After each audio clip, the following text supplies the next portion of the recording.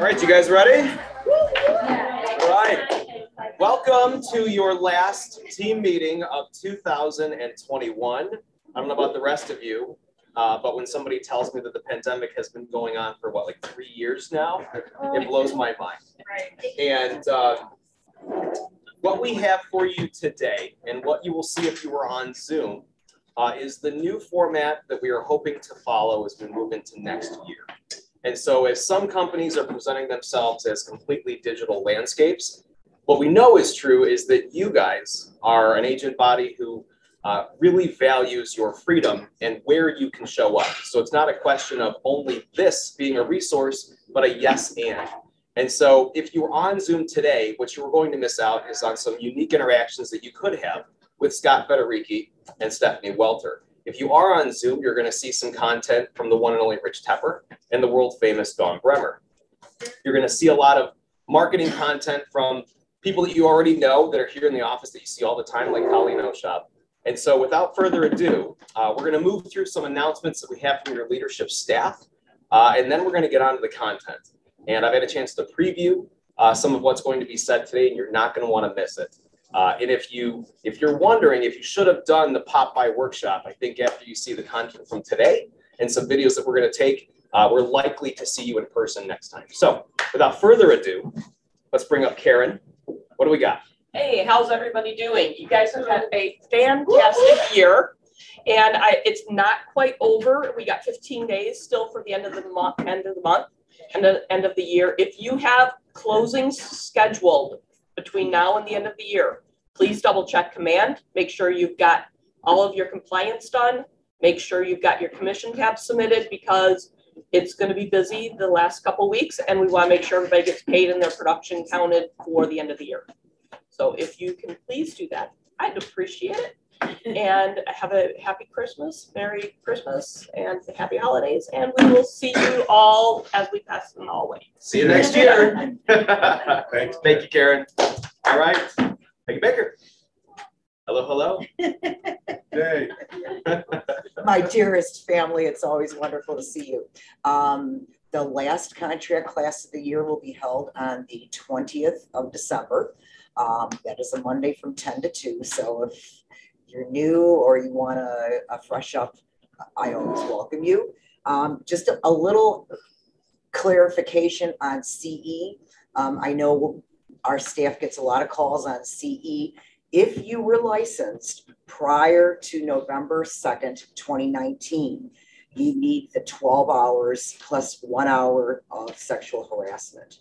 Um, if you were licensed between November 2nd and uh, November 2nd, 2019 and October 31st of this year, you will need the 45 hour broker post license uh, class.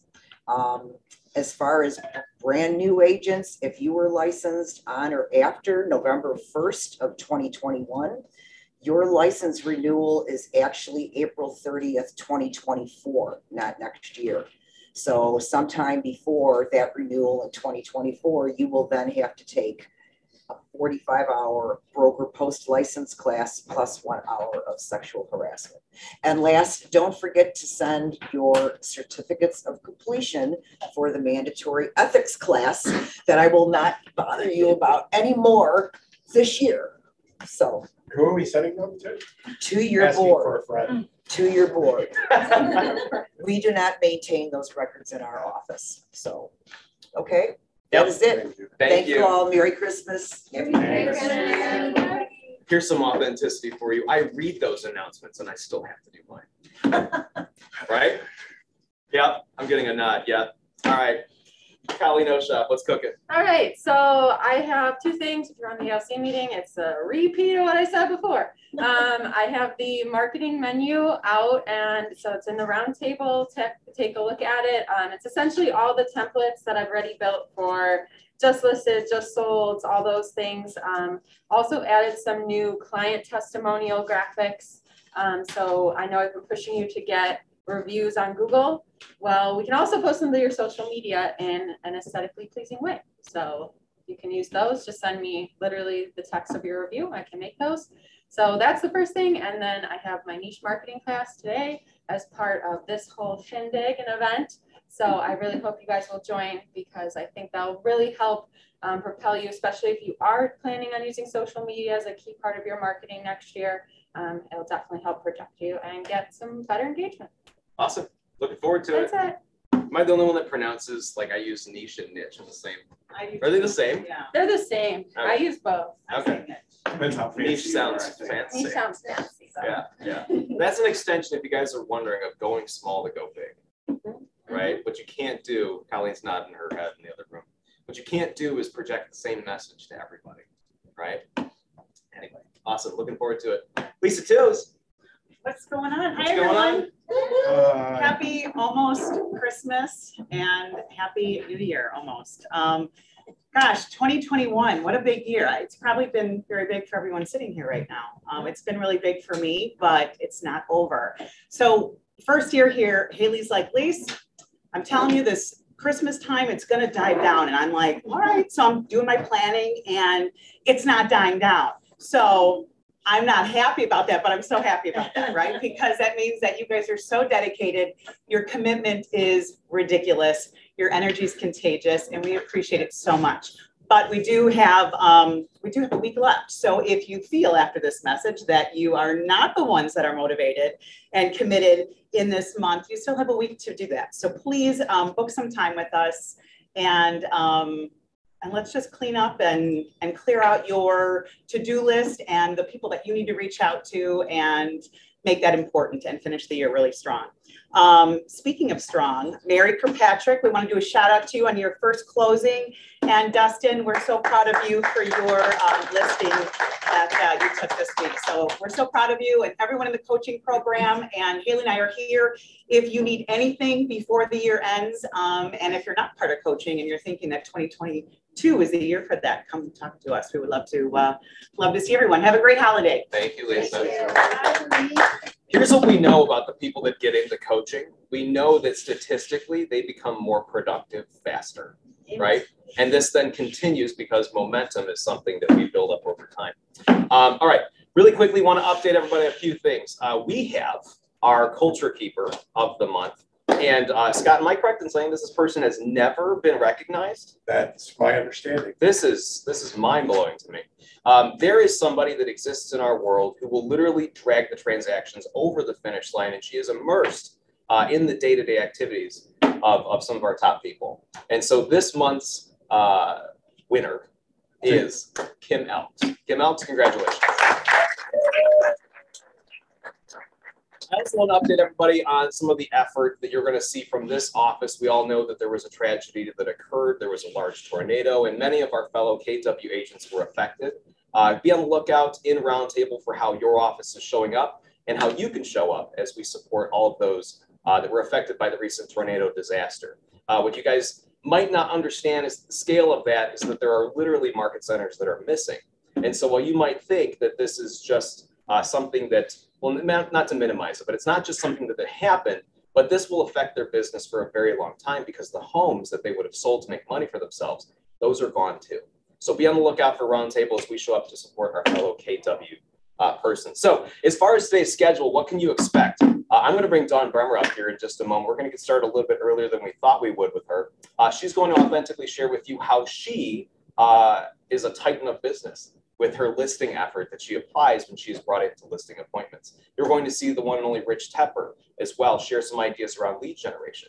Uh, for those of you that are here in person, you'll have an opportunity to engage with Scott Fed in his follow-up, and then goal planning with Stephanie Welter. Then, of course, uh, the pop by workshop where we cut the cost of what it takes for you to produce pop bys uh, because of the scale of our economy. So, Dawn Bremer, can I get you to come up? Can we just get started and uh, start talking about uh, what is probably the most authentic way that I think somebody does a listing presentation? You want to sit, stand? What do you want to do? Whatever you want. Yeah? Sure. I'm going to get some chairs. Okay. Let's do that. And then, so everybody knows, uh, Dawn has some stuff we're going to talk about. And then I know that we get a lot of value out of Q Well, Dawn, I appreciate you being here. Thanks for asking me. Yeah. I um. So, is there any, anybody in the? You can't hear? What if we talk like this? You got that voice? I can talk like that. Okay, Can you hear? Yeah. all right. So um, here's what we know to be true. We know that there, uh, there are other sources for information, but what you guys are consistently asking for is the ability to interact with titans of business. And so while some companies present a completely digital landscape and hang marketing uh, platforms in front of you, we know that you really, uh, what you literally want is one-to-one interaction with people that are moving large volumes of property. And so here we are. So what are we talking about today? We're gonna talk about a listings and what you can do in a listing to seal the listing. That's right. And um, people always say, you know, what do you do differently than other people? And it's, I think it's literally, I do nothing like anybody else.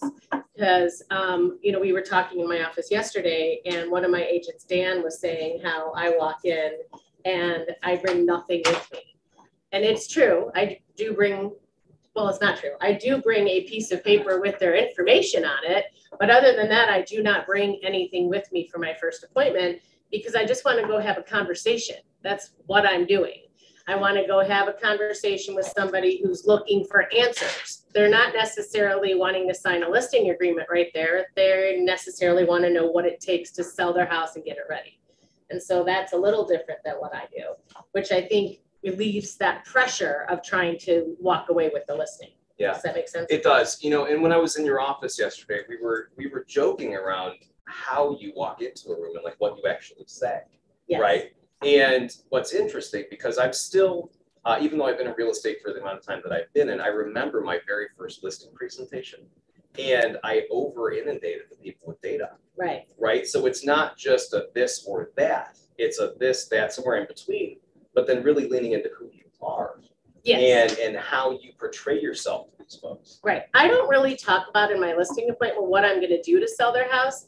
I'm really asking them what they want me to do to sell their house. Right. What are they looking for? Why are they selling? So basically, when I go into an appointment, the first thing I do is say, Why am I here? Where are you going? What are you doing? Is it a job transfer? Is it a divorce? Is it uh, we want to upgrade? Is it we are having babies? And what is it? Because you really have to understand what it is that they're looking for so that you can do that job correctly. And I think that's a lot of things that people forget. And let's be honest, everybody wants to talk about their house and everybody wants to talk about their life. So it's true. And when you get to know them about it, they feel that connection to you, which maybe can separate you from a listing where it's just inundated with this is what I'm going to do, this is how I do things. They feel that connection to you because you know what their kids' names are, you know where they're going, you know what they're doing. And so that's one of the biggest things I think that we do differently at our team. Can we quickly talk about how you might prepare for a listing appointment? And I just want to touch on what you just said, which uh, when we are consistently moving, so so the, the process of selling a home is indeed a process with bumps and valleys and all that. And I think what we find most often where you're sourcing out why they're selling, that why, like we have a big why here and why we run our business, but these folks, this is their single largest asset that they've Correct. spent the most money on in their entire lives. And so the decision to move is something that I think we need to highlight over and over again. Uh, as we have a valley, as we have a high, right? So sometimes where I see a lot of you show up in that conversation is, uh, well, let's get you to Colorado. Let's get you to this. Let's move you here. Well, we got to think of, you were telling me a story about somebody who was selling their property uh, for their kids Mhm. yesterday, right? Yeah. Well, let's get that funding for your kids because that's the language they speak. Correct. They want, once you understand their why, just like we understand our why. When Yeah. we know what our why is, we know how to do it. So if you know what their why is, you know what they're needing from you to accomplish that why. That's right. And that's what, it's just different. It's, it's not about going there and telling them, this is how I'm gonna sell, this is the process. It's, this is what I'm gonna do to get you to that goal. Do you want a bigger house? Well, then we wanna talk about this. If you wanna move, well, let me talk to you about my preferred partners in different states. And then you have more information to give them and you are, I, I call it weaponry. You have the weapons to help them fight that battle of whatever it is. Right, right. Can we dive into the process that you take before you go take a listing? Now, I know that you've surrounded yourself with an army of, of straight up killers, right? That, that help you with fundamental things, some small stuff and some big things, then lead to a bigger effort. but if you could bullet point for us, what are some things you do to prepare before you walk in that door? Well, it's kind of weird and people think I'm crazy. I don't even look at the house before I um, go to it because I think you go with preconceived um, notions. I don't want to know if they've upgraded already. I don't want to know that. So when we have a listing, I pull um, a previous MLS sheet, the last sale one that they have, um, whether they bought it or um, it was listed once before and they couldn't sell it. Because you want to know that, like, oh, you tried to sell this three years ago, what happened? So that's important. Um, I always pull the tax records and I always pull the um, assessor's records. So we have the actual square footage because you know it's never right in the MLS. so the assessor records, you want to know the actual lot square footage. I can't tell you how many times I go on an appointment and they say I have one and a half acres and they have three quarters of an acre. That makes a huge difference. So you want to know those things. And I just put that in a manila folder and that's it. And I do, we do have a listing packet that is bound. Um, this office took care of it, made a beautiful thing with Jennifer Beltrami's uh, brilliant design. And, but I never go over it. I just give that to them as a parting gift. Here you go, look at it and we'll talk again. Stop laughing, Jen. Um, but so those are the only items I bring. And I bring my folder and that's where I take the notes. So when I go to the listing, the biggest thing that I think that a lot of listing agents make the mistake is, is you just walk in and you go right to the front door.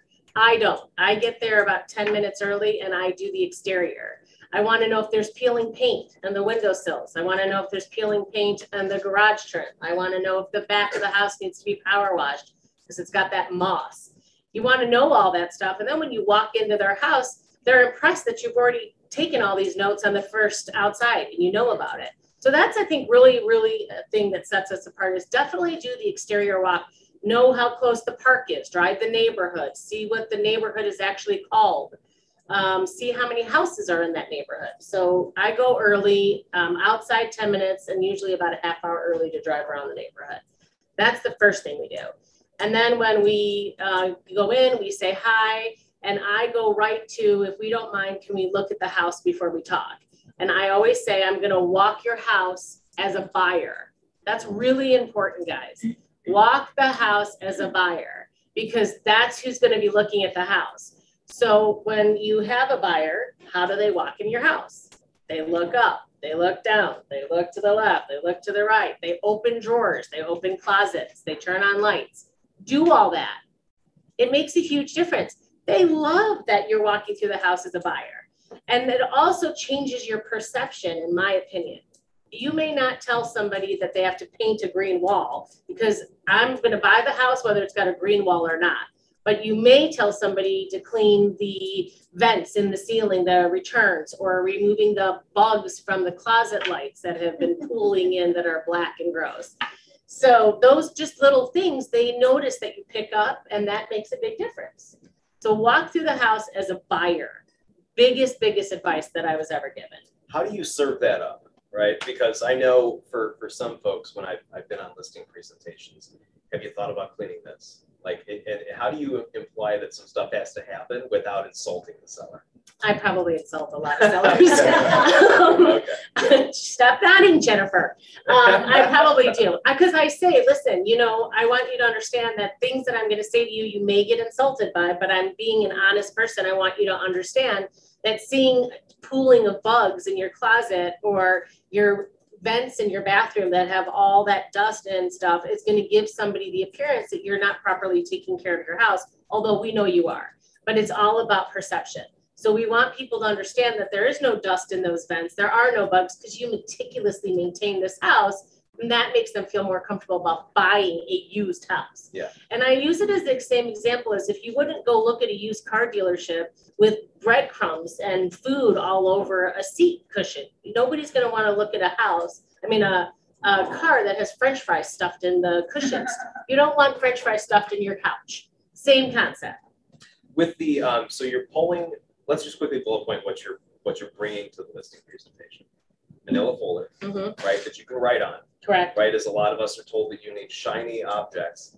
No, to- mine to- is to literally like a penny folder. Yeah, this is what I find most fascinating about people at your level. So one thing that I'm afforded in this role is to sit back and watch.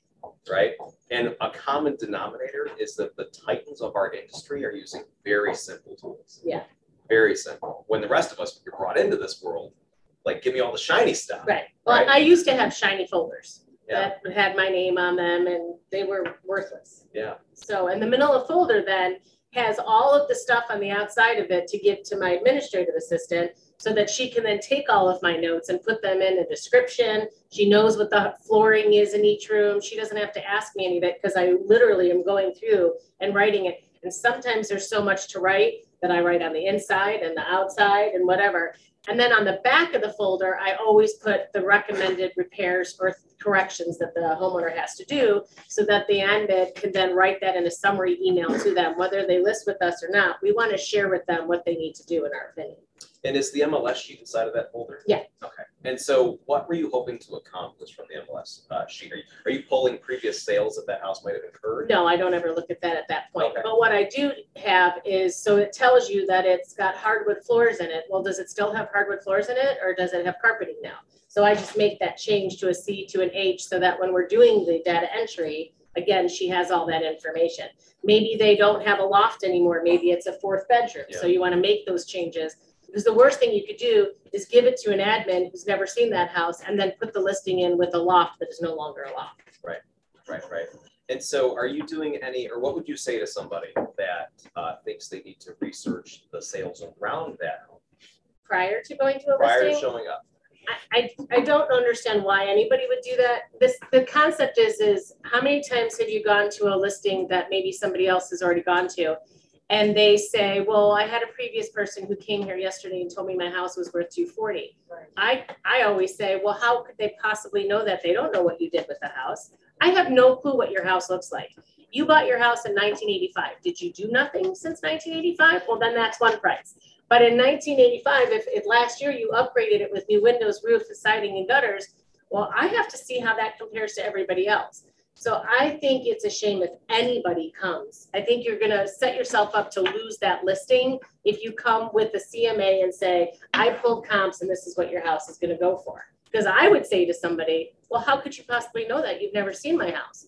How does that compare to the house that you just pulled a comp for? Right. So that's never do that, in my opinion. So Dawn, I may be jumping ahead here, but when you go there, what is your like go-to script when they say, what should we list the house for? I always say to them, so what I'm gonna do, the, before we even get to that, I, when I walk in, I say, I'm first gonna look at your house.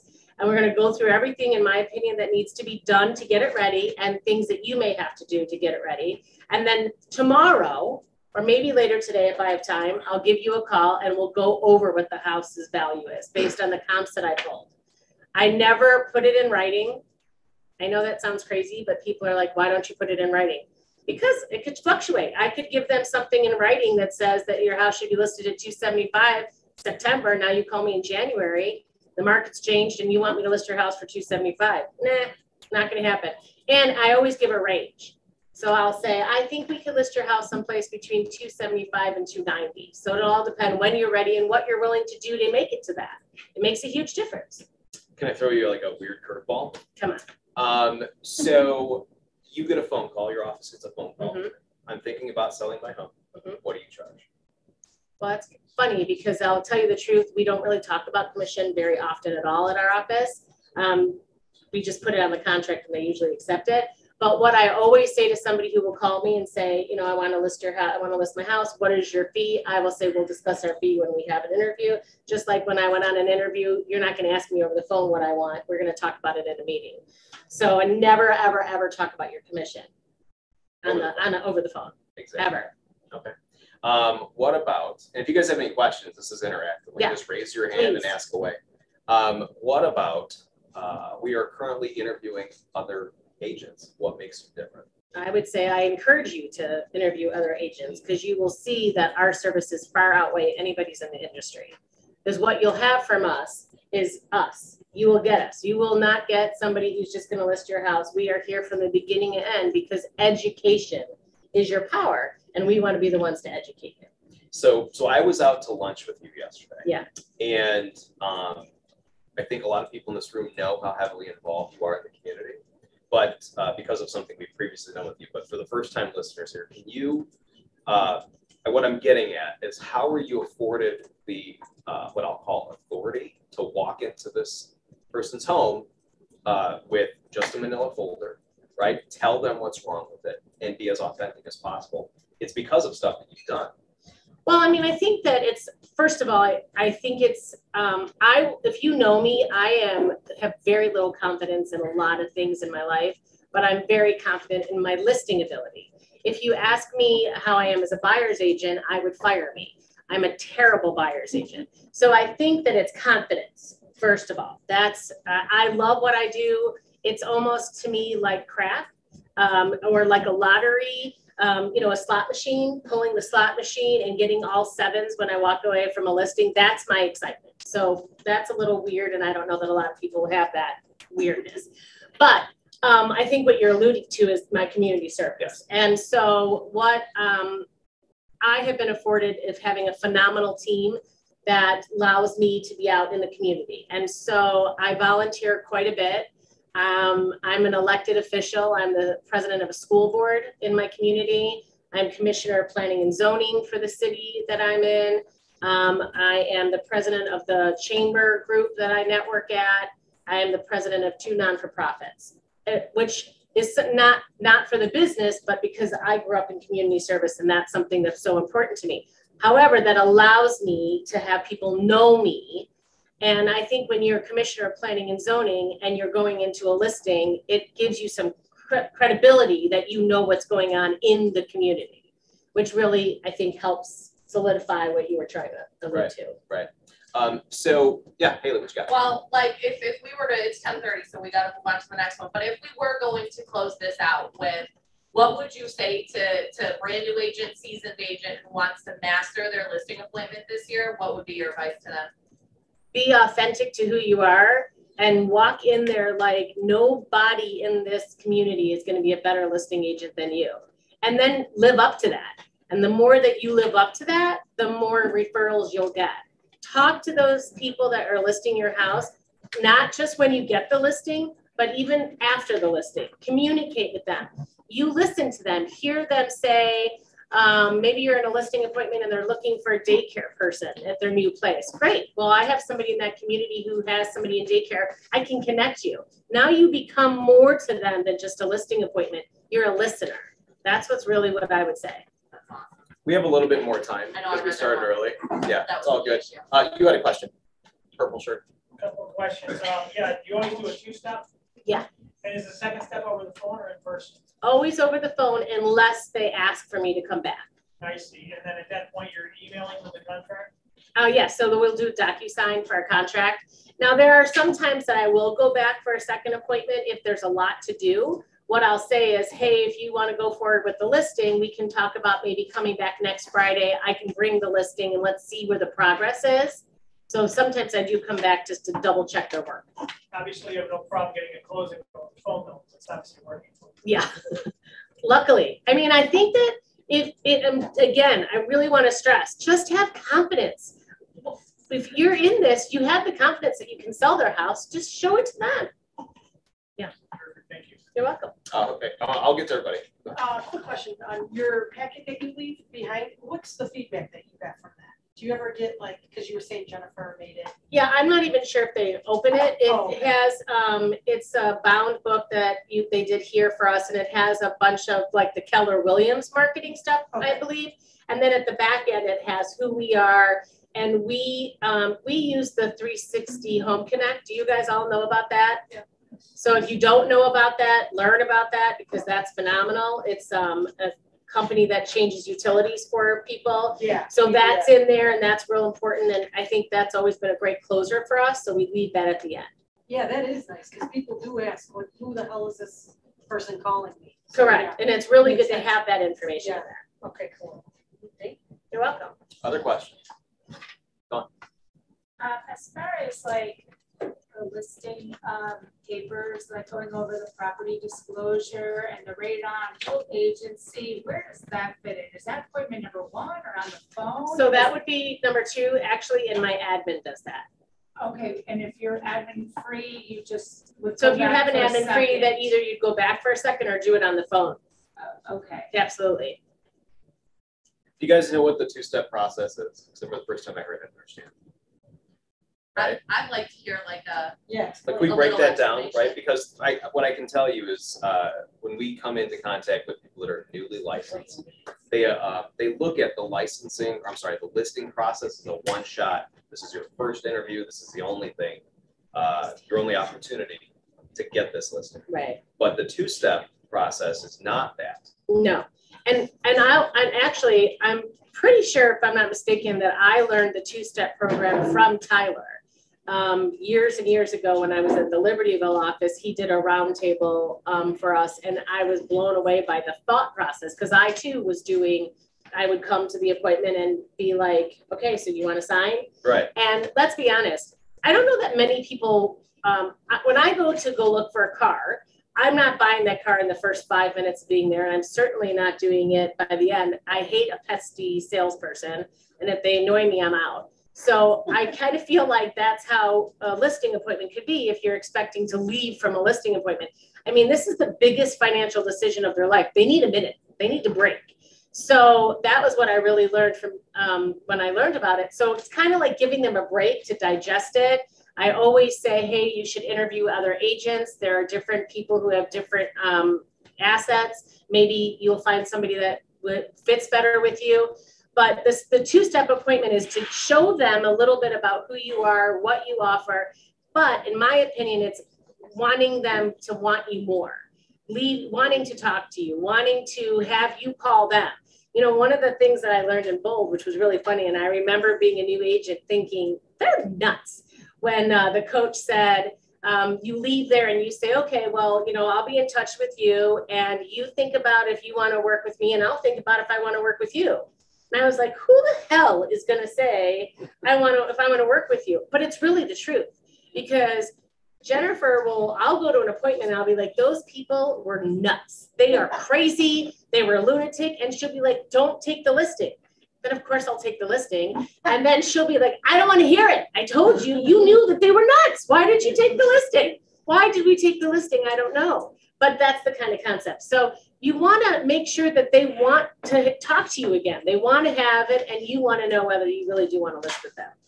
Are you introducing the two-step or are you let, lending it to almost let them conduct if it's gonna be a two-step or not? Hmm, That's a really great question. I, I think it's a little bit of both, because when I leave, I'll say, so what I'm gonna do is I'm gonna go back to the office, I'm gonna put into my system what you have, what you've done, how, what the houses in the area are going for, how you compare to the houses in the area, and then I'll give you a call. And if it's something you wanna move forward with or have additional questions, we can talk then. In the meantime, if you come up with additional questions, please email me so that I have those answers for you before the end of the conversation. So I think it's like, well, if they email me and they want to engage, then we, I know where I fit with them kind of concept. So, and it's funny, I'll always say, I'll call you tomorrow. And then I'll maybe send them a text at like 10 and say, hey, I just wanted to let you know, I'll call you this afternoon. I want them to know that I'm not waiting to be like, can you list with me? Can you list with me? And by the time I call, they're like, oh, we've been waiting for you to call all day. It's very interesting. When you, it's almost like, what do they say when you, when it- yeah, yeah, yeah. When you're connecting on the phone call, um, obviously we're only talking to one of the parties, right? How does that work in terms of who you're calling and coordinating that and making that decision? Another great question. I always ask if they can call me when they're together because I definitely don't want to have a conversation with him and then to have to call her. So when I say, hey, can I give you guys a call tomorrow at four? Will you both be available? Can we do a conference call? So I normally have them both at the same time. But quite honestly, it's interesting. Most of the time, the husband will say, well, she's going to be making the decision, so just talk to her. So it's very true.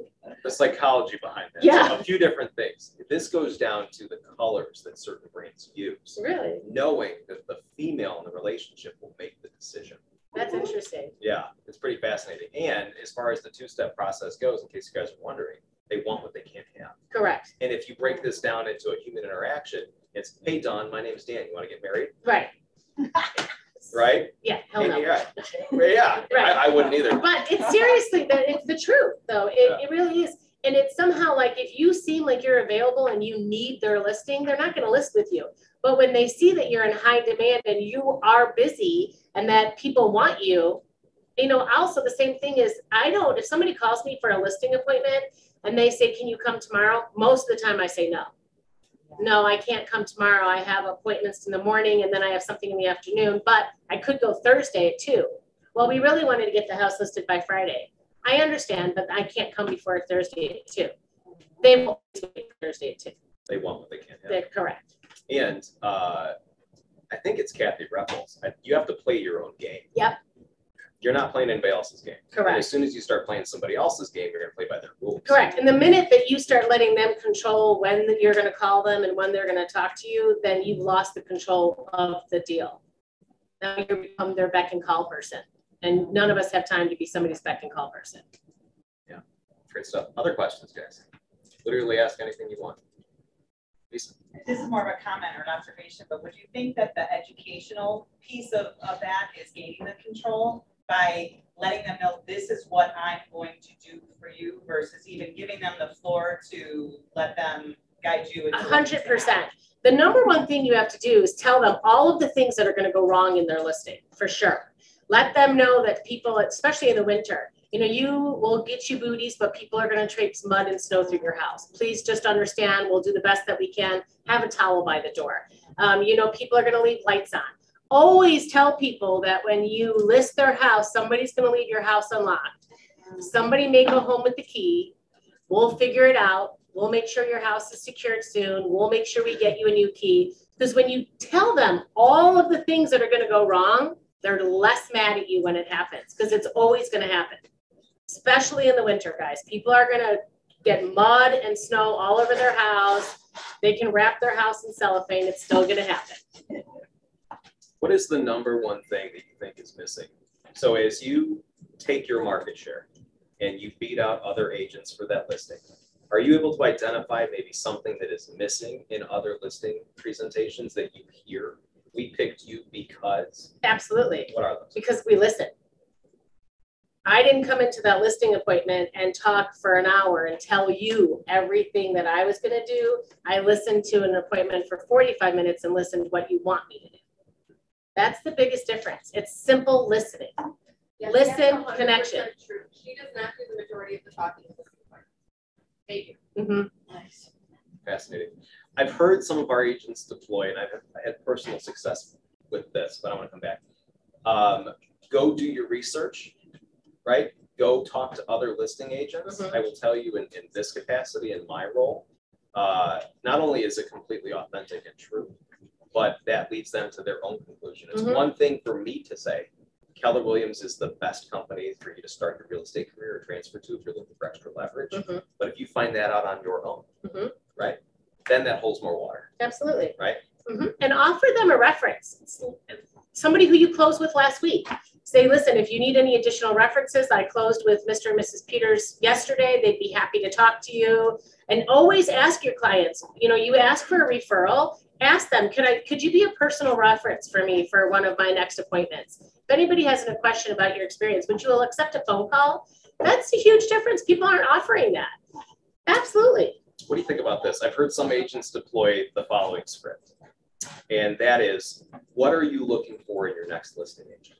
And where I've had personal experience with that is then that person will literally tell me what it is that they want. Mhm. And then, surprise, surprise, that's who I am. Absolutely. The other thing is, is remember we talked about pull the listing and maybe they tried to sell their house three years ago. So you say, you know, look, I know you tried to sell your house three years ago. What went wrong? What was missing? What didn't happen? Okay, so they tell you everything that were they were upset about. Well, now you know. I will, I, you know, we don't do it this way. Well, we do it this way. And then you make sure you remember those things that irritated them. It could be just as much as um, we just had somebody who said, I, I need to fire my agent. I've had um, 16 showings and I have no idea about the feedback. They keep saying me, nobody filled out the feedback form. Got it. So we know after every closing, we're after every showing, we're going to call you and we're going to even say to you, we haven't heard back, but we wanted you to know. If we're doing the same thing, we're just making a phone call to say we haven't heard anything. It makes them happy. Uh, Dawn, biggest, if you are willing to share, raw, uh, epic fail that you've learned from in a listing, that you're still like, oh, but you've learned from it. And- Absolutely. I think that's a great question. It was the original of coming there and having um, the CMA with me, It was having all of these things that I was gonna inundate them with ridiculous information that they're never gonna care or know about because they have no care about how much, where you're gonna advertise, how you're gonna do that. They only wanna know who you are and how you're gonna help them. That was my biggest mistake. Do you have, for those clients that you have that don't have much to say, do you have something, I'm assuming by this point you do, but something in your pocket that you're able to say, this is what we, we do do? Uh-huh. Um, for, you know, because there's a couples that, that don't know. Right. don't Know what they want. Absolutely. And it's always to say, always ask them if they've ever sold a house before, because then you say, well, that's great. Well, we're going to educate you. This is a big concern. We want to make sure you have every step of the way. So let's go over that. And the other thing you definitely want to say is if you're at an interview, because that's what it is, with an a uh, homeowner to sell their house and they're not really saying much, start asking interview questions. Say, you know, hey, I'm going to ask you, Mister, but you know, Mrs. Please let him answer. What are the five things you love about this house that I can use in a description? What are the three things you don't like about your house? And then she's like, but, but, and then now it's her turn and she's got to always outdo him. So ask the guy first. And then she'll be like, well, and then he'll be like, oh yeah, that too. And now you've got a description. And they didn't even realize they helped you, but you asked them about the house. Because, you know, like I just redid my house. I bought my house in December and I have redone the whole thing. If you ask me what I love about my house, I can talk to you for four hours about what I've done to my house. And you could use that in a description. And you remember, this is somebody's house where they've had their kids. They've their kids have walked up those stairs. They've lost pets. Some people have lost children in that house. They brought their parents. Their parents have died in that house. Remember that emotion. That's important. Remember that. A lot of listing agents forget that this is an emotional decision and nurture that emotion with them. What about, oh, we got another one? Do you do any kind of pre-appointment package, and if you do, what's in it? No. I want you guys to notice something, what you on Zoom are not seeing in real time is uh, there are like the top five realtors in our company, and, and one of them, Rich Toepper, has asked me four questions. I love Rich. And this is, this is, this is why I think This that- is why we talked about what we did yesterday Yeah. about why we should have this. Yeah, there is, and I, I wonder if you two would agree, uh, Rich, there is not one point where you know everything there is to know Correct. about this business. Correct. And Rich is so successful. And we were talking about that. I would love to have a conversation with Rich. I said that yesterday. I'd love to just sit and talk to Rich about what he does. And it's what Rich does is completely different than what I do, which is why masterminding with other agents can only help you guys. You are never going to learn enough. And learning from people like Rich are going to be exceptional because we can all learn from each other. Yeah. Guess where you can't do that. I didn't say nothing. It looks like The Sims, I'll just say that. Um, all right, let me ask you, so we got just a few more minutes Mm-hmm. here. Uh, so if you guys have any other remaining questions, throw those out, but one, Yeah, one that I have, go So ahead. Dawn, once you get the listing, uh, cause then it's like game time, right? Then we actually have to follow through on everything we Right. talked about with them. What does your communication look like up until getting an offer? Absolutely, it's a great question. Well, I will tell you, so pre-assistant, somebody from my team me once and somebody from my team was trying to reach out to them or have an open house once a week, communicating with them via email. Make sure you communicate. Don't just get that listing and then never talk to them again. Especially the number one point that you have to remember the most communication is from contract to a second or third showing. You want to let them know that now your your house is live. Now here's, remember, let's go over the showing instructions again. Make sure you, how did that first showing go? How many of you guys never call your clients and say, how was that first showing? Don't forget to call them. That was a big deal. They had their first showing. So communication and make sure that that continues. And then once you get a contract, same thing. Now they've never sold their house. They don't know what happens next. What's an appraisal? What's a FHA inspection? What does that mean? What, what do you mean? Why is this lawyer sending me something about this amendment? What is this? Somebody just called me yesterday and I was upset that we didn't call her first about the FHA mandatory clause because it's basically an escape clause. She heard the word escape when she Googled it. She's like, what does that mean? And went into a panic. And that was on us. We should have allowed, uh, informed them that that was coming. So be ahead and educate. It's something, like, we're, we're in this day to day, so we Mhm. think that people, and I make this mistake in our world, we think that people understand our terms, the Right. way that things go. Right, Where it's a little bit different here at KW, we have different terms for things that don't exist out Correct. in the world. And for most people, I mean, what's the average, right? It's five to seven years. Mhm. So while you might do it every single day, or if you're new, like once a month, right, this is the first time they've done it maybe ever, ever, uh, or they haven't done it in the last seven years. correct. Or they bought a house and they've never sold a house and it's completely different. So you have to educate them that there's a complete different side when you buy than there is when you sell. Right. And I'm telling you, the, it's educate, educate, educate. And the more that you educate yourself, the more confidence you have, the more you can educate your clients, the more confidence they'll have in you. So where you see this education show up uh, in other industries, take Starbucks for instance. Mhm. The reason why Starbucks was so successful is because you weren't just getting a cup of coffee; they were educating you about the way the coffee was ground, brewed, Right. the different types of drinks, and so you can walk into a Starbucks location and ask questions, and those baristas are trained to educate you in the process. They're also trained to flatter you.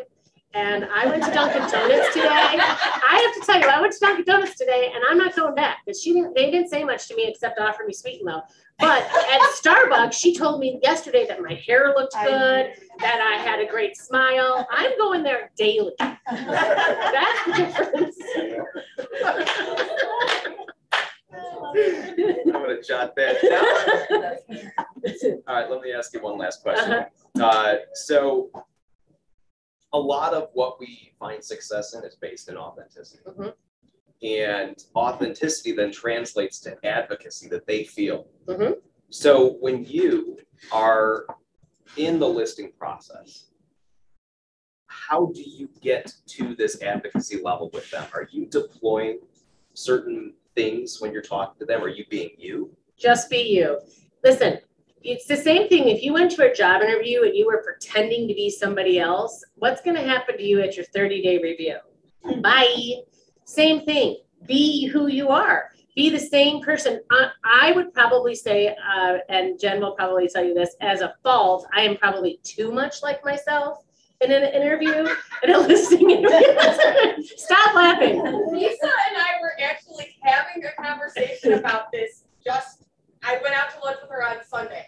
And Lisa Fenske and I, who was on our team too, were like, this woman is crazy. to a listing appointment in flip flops with her Cubs mom hat on. Uh-huh. Like she, like Dawn is Dawn.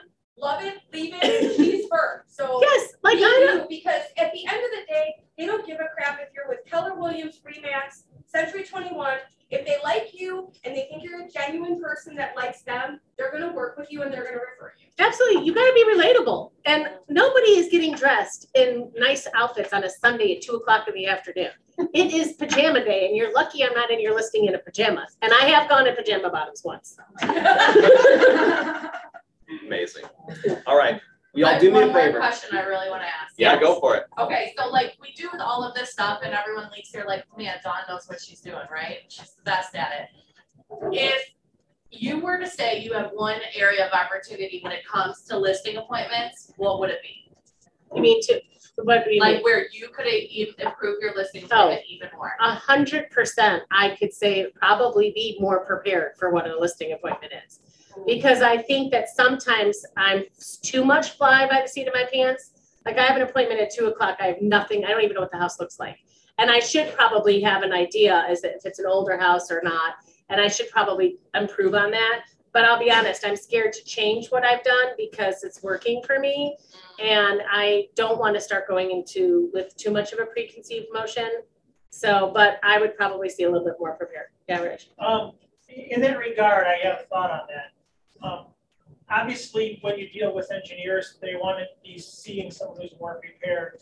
So if you have some clue maybe as to the personality types of the people you're interviewing, that maybe you would approach it differently. I'm just thinking Well. I will tell you this to, to hit on that. I do have this really beautiful professional looking listing appointment, um, a you know, book that if I saw somebody who I think needed more information, we would probably end up opening that a little bit more and going through that to see so they absolutely see it. Um, but I will tell you that when you come with so much education, they don't even really look at that. Can I ask a real quick question? Do you ask them what they believe their home's worth? Yes, I always do, and I make it a game. So what I say to them, instead of saying, hey, what do you think it's worth? And I'll tell you real quick why I do that, because I want to know if they think their house is worth three hundred and I'm coming in at two forty, how I'm going to approach this part two of the conversation with them. So I make it a game. If there's a his and a her, I say, okay, now I ask you the fun question. We're going to have a bet.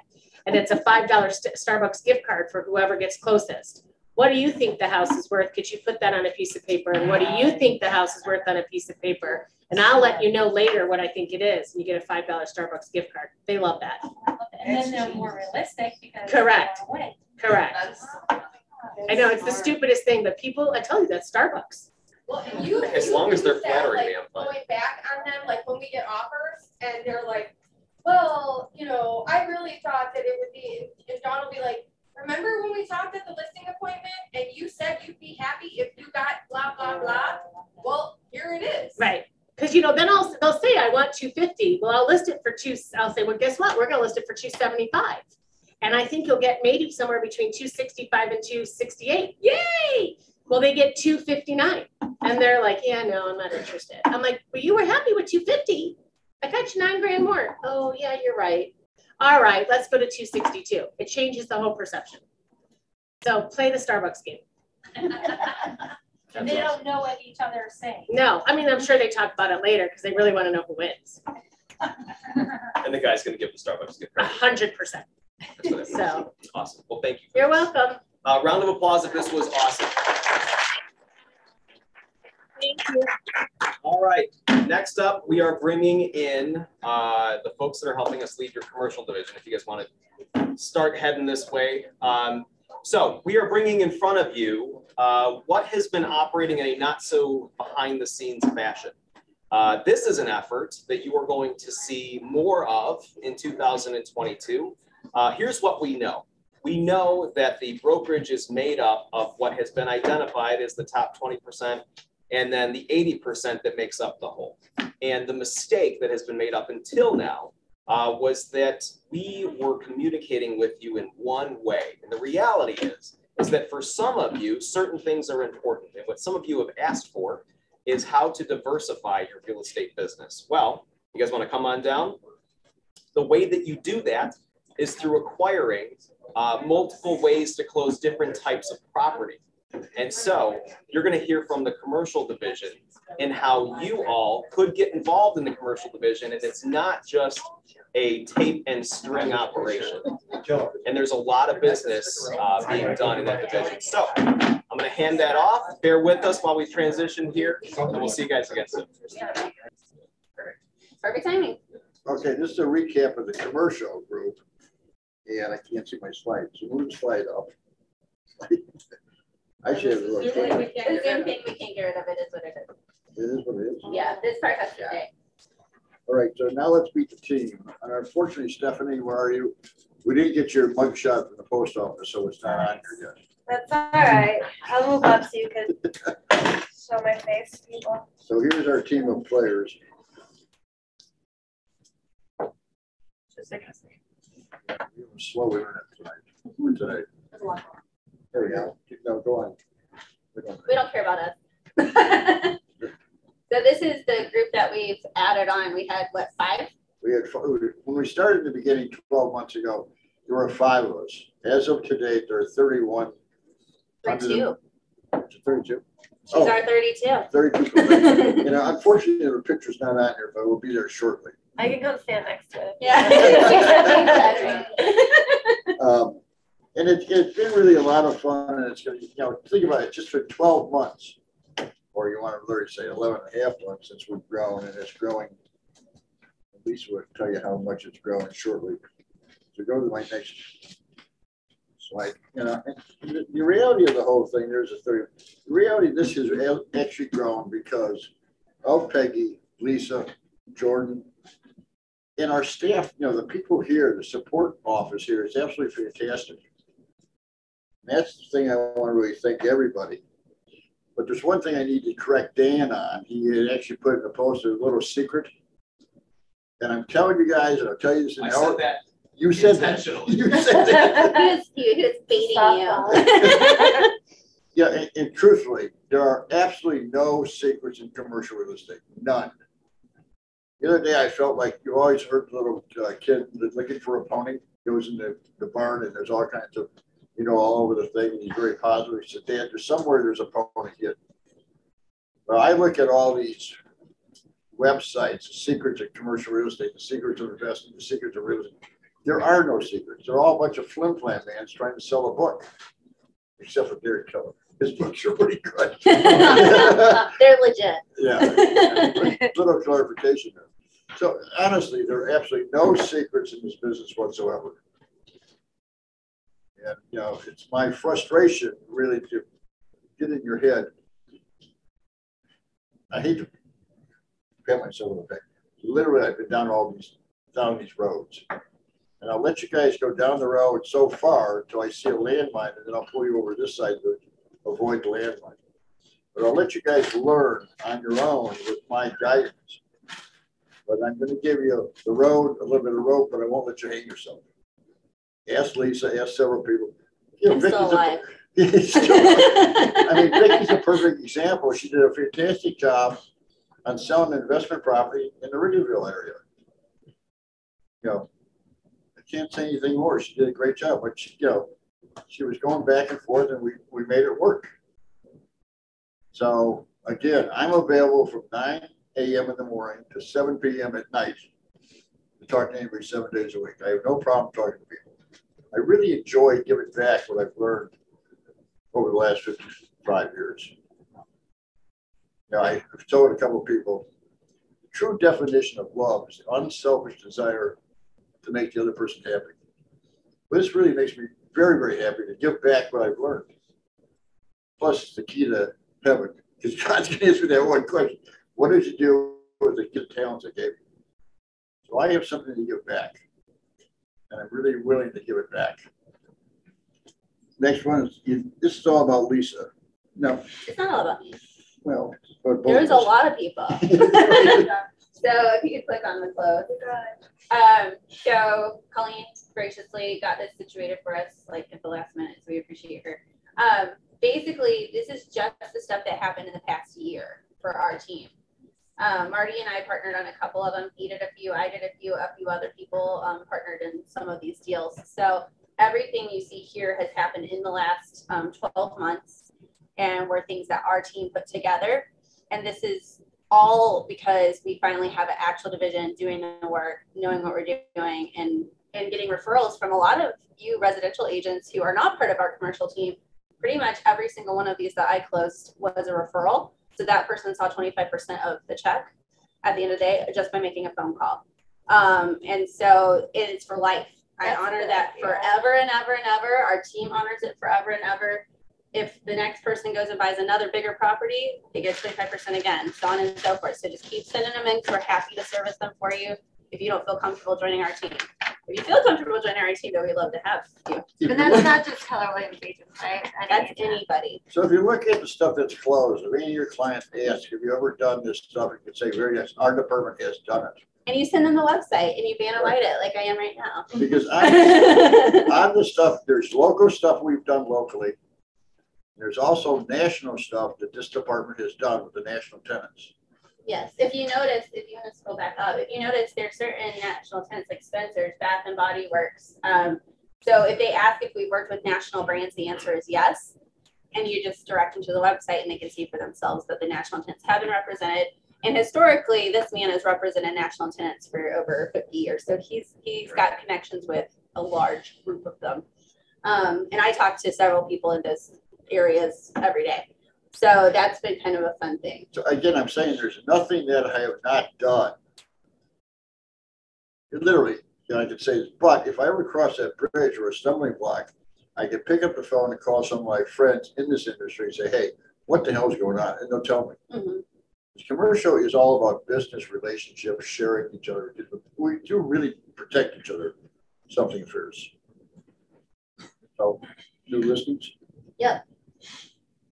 Next up is the active listings. Um, we had invited some people here to share their listings um, today, but unfortunately they weren't able to attend except for Bobby, but we don't have ours on the screen yet because ours isn't completely signed up.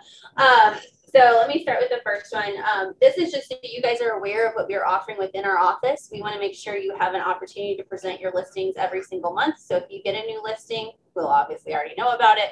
We'll make sure you get to stand up here for one minute and present each one. So I'm going to do a quick like overview of each one so you have an idea. And then if you think you have a client that matches that listing really well, just see whoever the listing agent is at the end. If it's a co-listing, feel free to reach out. So in this case, we've got Ken Hasselback and myself. Um, this one is Municipal Drive. It's in McHenry. It's right next door to their village hall. Um, it's a really great corner spot. It's more of an investment property. So um, this one is half the building is for sale in, as individual units or as a package deal. It's a great opportunity for investors who want tenants in place and just want an easy first investment because the range is like 60,000 up to 600,000. So you've got like a good play money situation there where you can potentially, that's the one vacant unit, by the way.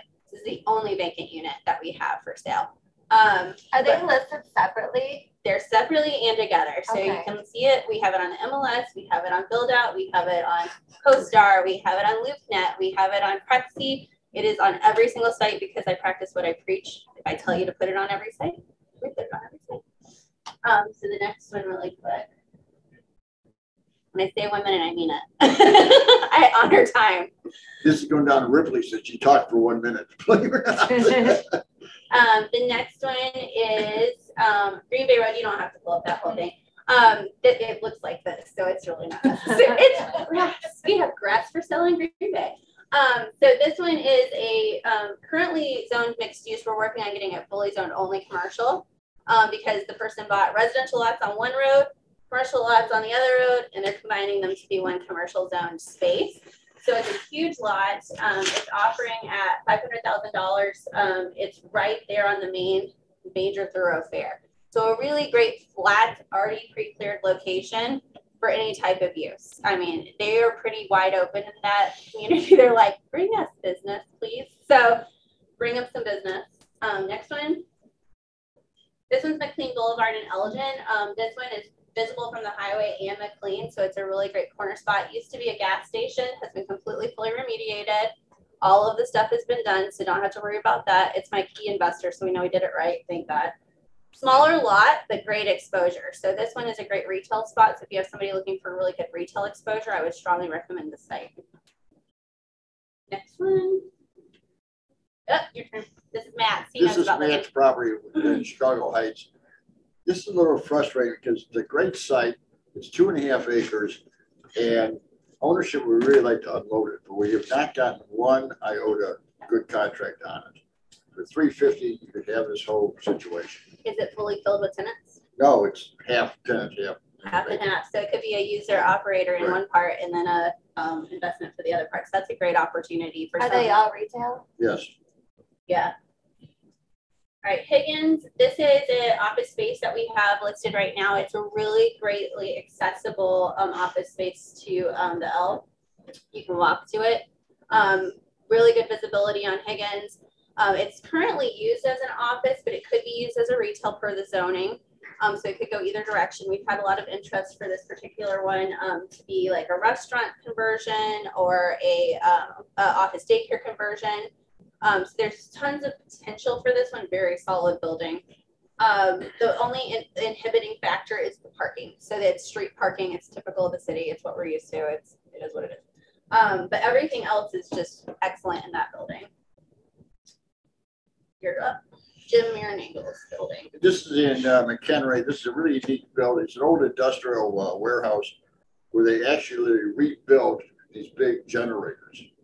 And it's twelve thousand square feet on the first floor, four thousand square feet on the mezzanine area. It's right next to the train station. It's absolutely ideal. The Uh, owner's gonna divide it up into four retail spaces. Uh, and it's market wise, it's about eleven dollars a square foot retail gross, which is really good for McHenry. It's really good. It's very good. It's a nice piece of property. The tenant would vacate by the end of this month and the rehab's gonna start immediately. And also, if you guys are familiar with Plum Grove Restaurant in McHenry, it's right down the street. Plum Garden, that's right, Plum Garden Restaurant, it's right down the street. So it's kind of that weird zoning where it's retail and industrial smushed into a little triangle. But it's really a great site. You also could buy it for nine fifty. Yeah, so there's options with this particular site. And then my personal um place where I live right now, it feels like I'm there every freaking day. Um, is 951 North Plum Grove Road. So this is my office space in Schaumburg that has the separate entries. Um, it's for sale and for lease. Um, currently there is only one tenant in place that wants to remain long-term. Um, so it's great for a medical use. It's excellent for like a COVID testing site, um, an office space. Um, we've had a lot of accountants looking at it that seem to have a lot of interest. Um, so, or like workout type situation. We've had some people who are there with like med spa type uses. So it's got a lot of potential. It's one of the lowest rent rates on a nicest build out I've seen in that business park in particular, which is why we get a lot of interest. Um, but we're looking for exactly the right person. So um, this one's a really great site. And like I said, I'm practically there every day. So if you have someone who needs to see it, I'll probably be there at some point. Wait, Lisa, is that this one for sale or lease? Both. Yeah. How many square feet does it have? It, the total for the whole building is five thousand six hundred, I think, roughly. Yeah, roughly five thousand six hundred. Um, the biggest space is um thirty-two hundred square feet. Um, that's vacant right now. And what does that go for for lease? The price for sale is five hundred thousand, price per square foot, I think is fourteen fifty right now. It's either fourteen or fourteen fifty right now. base, That's modified gross. no modifier there. Yeah. What's, what's, I'm sorry, what's the smallest space that? Smallest was like ten sixty-two, I think. It's like right around a thousand. Yeah. Yeah, so they're all different sizes, um, all the same build out though. So the nice thing is, is like you could join one side with another and combine it to a five thousand square foot space. So we've had a lot of people who are kind of looking into that too, because it used to be in a adjoining space before. So it's really easy to put a corridor back in where it used to be. Um, it's a really nice site. I really like this one a lot. And it's starting to get a ton of interest now that people are going back to offices again. We're starting to see it pick back up. So that's actually a really good sign for Schaumburg markets. Um, and the only one that's not in here, because that was the last one, right? Is Bobby and I are working on a planned unit development agreement. We can't really get into any details yet. Um, but we've never done it before and it's really exciting because Marty is showing us the way and we've been having a lot of fun meetings and we're just really excited. So we'll share that with you hopefully in a month or two is what we're thinking. How I'm showing it away is I'm letting them go down the street. And there's a couple things they've done very nicely. I said, okay, but now the documentation, we're gonna flip over this way. And the way I learned the documentation is what Dawn Bremer said. You know, she's, uh, McHenry, she's commissioner in McHenry. Well, I was a commissioner in Evanston for twenty years. So I'm taking that experience, those documentations and all the stuff I do for municipalities to say, hey, we're gonna go this way. At least, how do you do that? So I showed her all the different agreements. There's a lot of papers. it's like 90 pages of papers. Now, I'm not an attorney, I don't practice law, but I do a lot of plagiarism.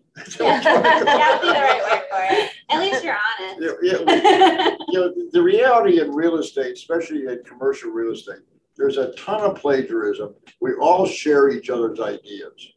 I get calls from attorneys all the time saying, you know, have you ever been down this? Give me a good paragraph for that. What's this? Um, I sent one of the agents, he wanted to look about leases. They said, we don't do leases, but I'll give you some copies of leases so you can figure out the terminology. The best lease I ever did, a landlord tenant lease. It took about a day to go through it, usually commercial national lease, about three weeks. It's uh, Men's Wearhouse. They have learned how to work leases both sides. It's a great lease. So there's you know, this sharing back and forth. So if you guys want to, you know, get involved, get more listings, get your name out, get involved in the municipality. It really helps out a lot. It's huge. It really is huge. Question about that. Yeah. My municipality or village or whatever is like the, the woman who's the president of the chamber is a realtor. And so that's for that reason I didn't get involved because I felt like maybe she wouldn't want me there. Do you see any Which municipality No, like I was gonna do um like uh Lake County and I think the Chamber of Commerce uh, Chamber of Commerce is Pat Smarto, so I was like, Yeah, I not do You it? can't usually join a chamber with another, like, they don't usually have the have same multiple. industry, right? Right, but if you're commercial and they're residential, you can. Oh, So so if I could come join- in as the commercial person? Correct. Yes, that would be the best way to run it. And honestly have me introduce you to her because she and I are beds. Yeah, she's really Yeah. sweet. And people who are elected to the, you know, Chamber of Commerce or even to the- the municipal board, they have to recuse themselves of anything to do with real estate. Mhm. So most of the time, they really don't practice real estate at all. They leave it, you know, alone. It's kind of, a- you have to, they can't vote, they can't do anything. Sometimes they can't even go to executive session meetings. There's, there's a whole code, a municipal code. So they recuse themselves from the business chamber real estate, not from practicing real estate. Right, they have to Okay, recuse themselves from the chamber and stuff. Yeah. So it's, But getting on plan unit development boards, getting involved in anything that's a development process in your municipality is a great opportunity for you to A, know what's going on in your municipality all the time. So you can better educate your clients, yourself, us. Um, but also it gives you that edge if something happens within the municipality and they're trying to give a new developer a name of someone that's really good to interview, guess whose name's probably gonna come up? Right. The person they know, that they trust, that they love, that they know knows their best interests at heart and wants to build and develop that community too. Um, so yeah, classes we offered this year um, were script training. Um, that one was recorded. It is on the KWSR page. Um, efficient lead generation. Um, I think that was prior to recordings. Um, listing presentations we've gone over, valuation classes, syndication, searching, and zoning. Searching and zoning, I believe, was also recorded. I think that one's also on the page. Upcoming, Marty will be teaching us how to take a property and dissect it and analyze it and come up with comps, understanding how to use the tools we have in place financially to figure out what the valuation of a property is worth. And we're actually going to all try to attempt to do it together, kind of like what Dawn was saying with like cards. Um, we're all going to attempt our own valuation and then see if we can hit the same numbers that Marty has. Um, we're going to do another leases class. We've done them several times before. It seems to be a highly needed class and sought after. We're going to record this one so we have it in our library. Um, a RealNext CM, CRM class will be coming. It'll probably be towards the middle of the year once we kind of figure it out for ourselves. Yes. we're, we're gonna give Bobby the, uh, assignment of figuring it out, because he and I were on, yeah, Bobby's in charge of the RealNext interpretation of data. we were on the Zoom thing from Austin, what, two weeks ago? And it's very comprehensive. And it looks like we really want to use it, but, you know, halfway through, it- It's a lot. it's a lot. It's a lot. So It's really really wonderful though. Yeah, And we'll get into more into that later.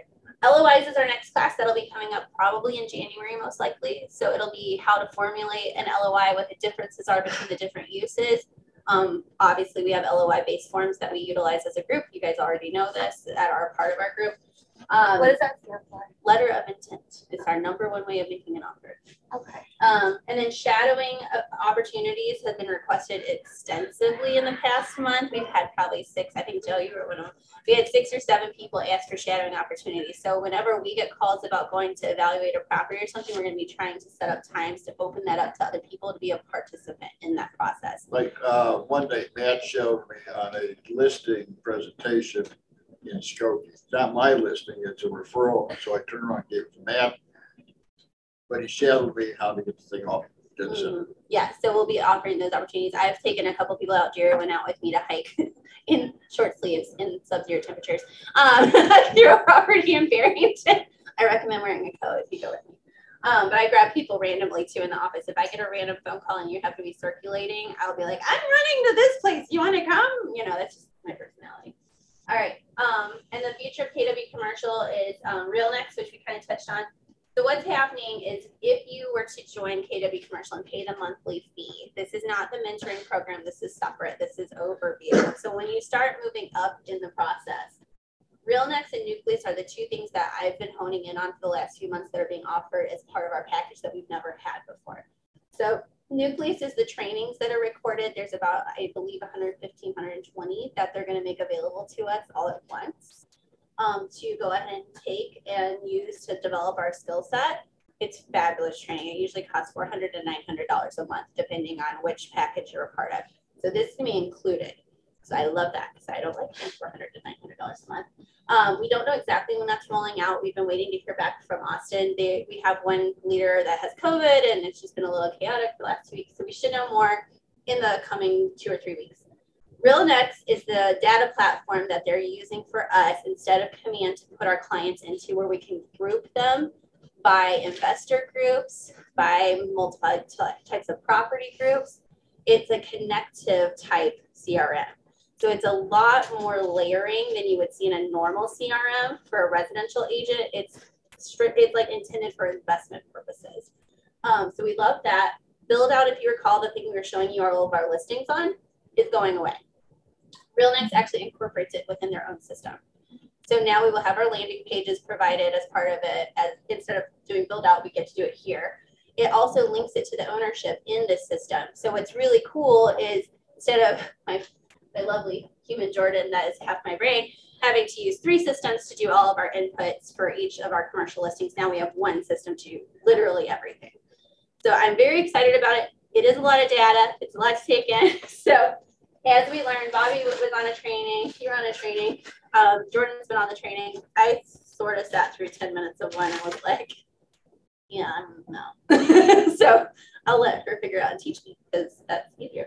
Um, but once we learn it, we'll be teaching it to you guys as you decide to become a part of KW Commercial formally and pay those fees to get that access to those resources.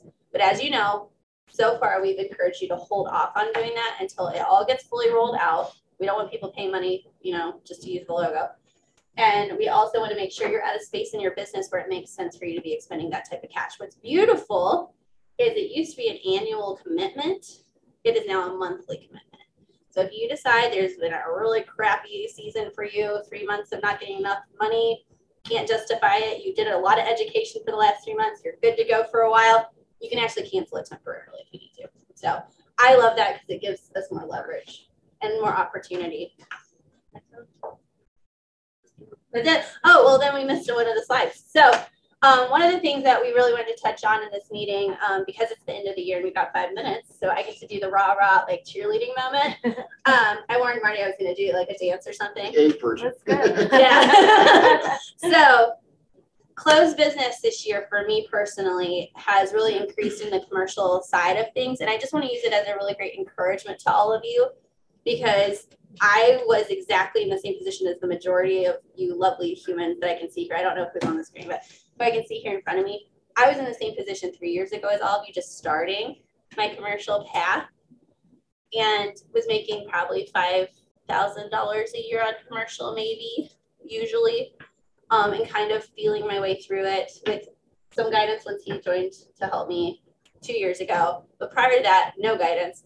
And then once he started to help me, it started to pick up a little here, a little there. Last year was a little low, you know, on my experience with the commercial, as was my check. But this year, my income has gone up $29,000 because of commercial business. And largely that is because of the lovely humans in this office that have referred business to me. Um, and so of that, you know, over $6,200 were given back to other agents because of that. And I am very appreciative of the trust.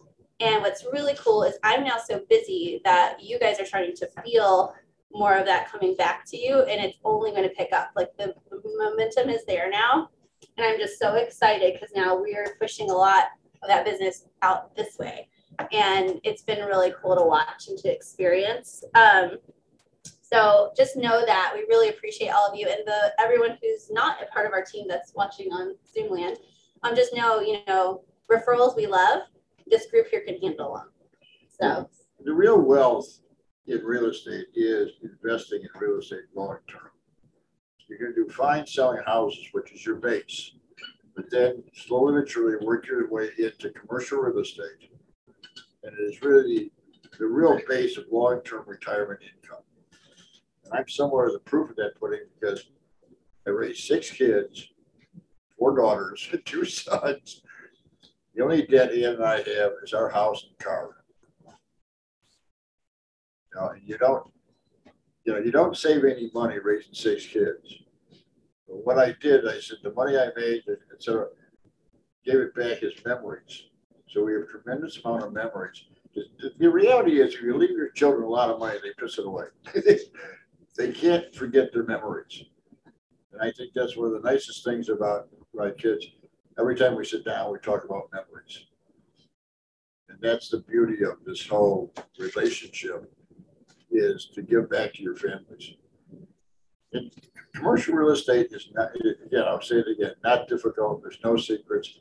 I'll help you out. Your base is residential. There's no doubt about it. But you can play both of them together. It works out very nicely.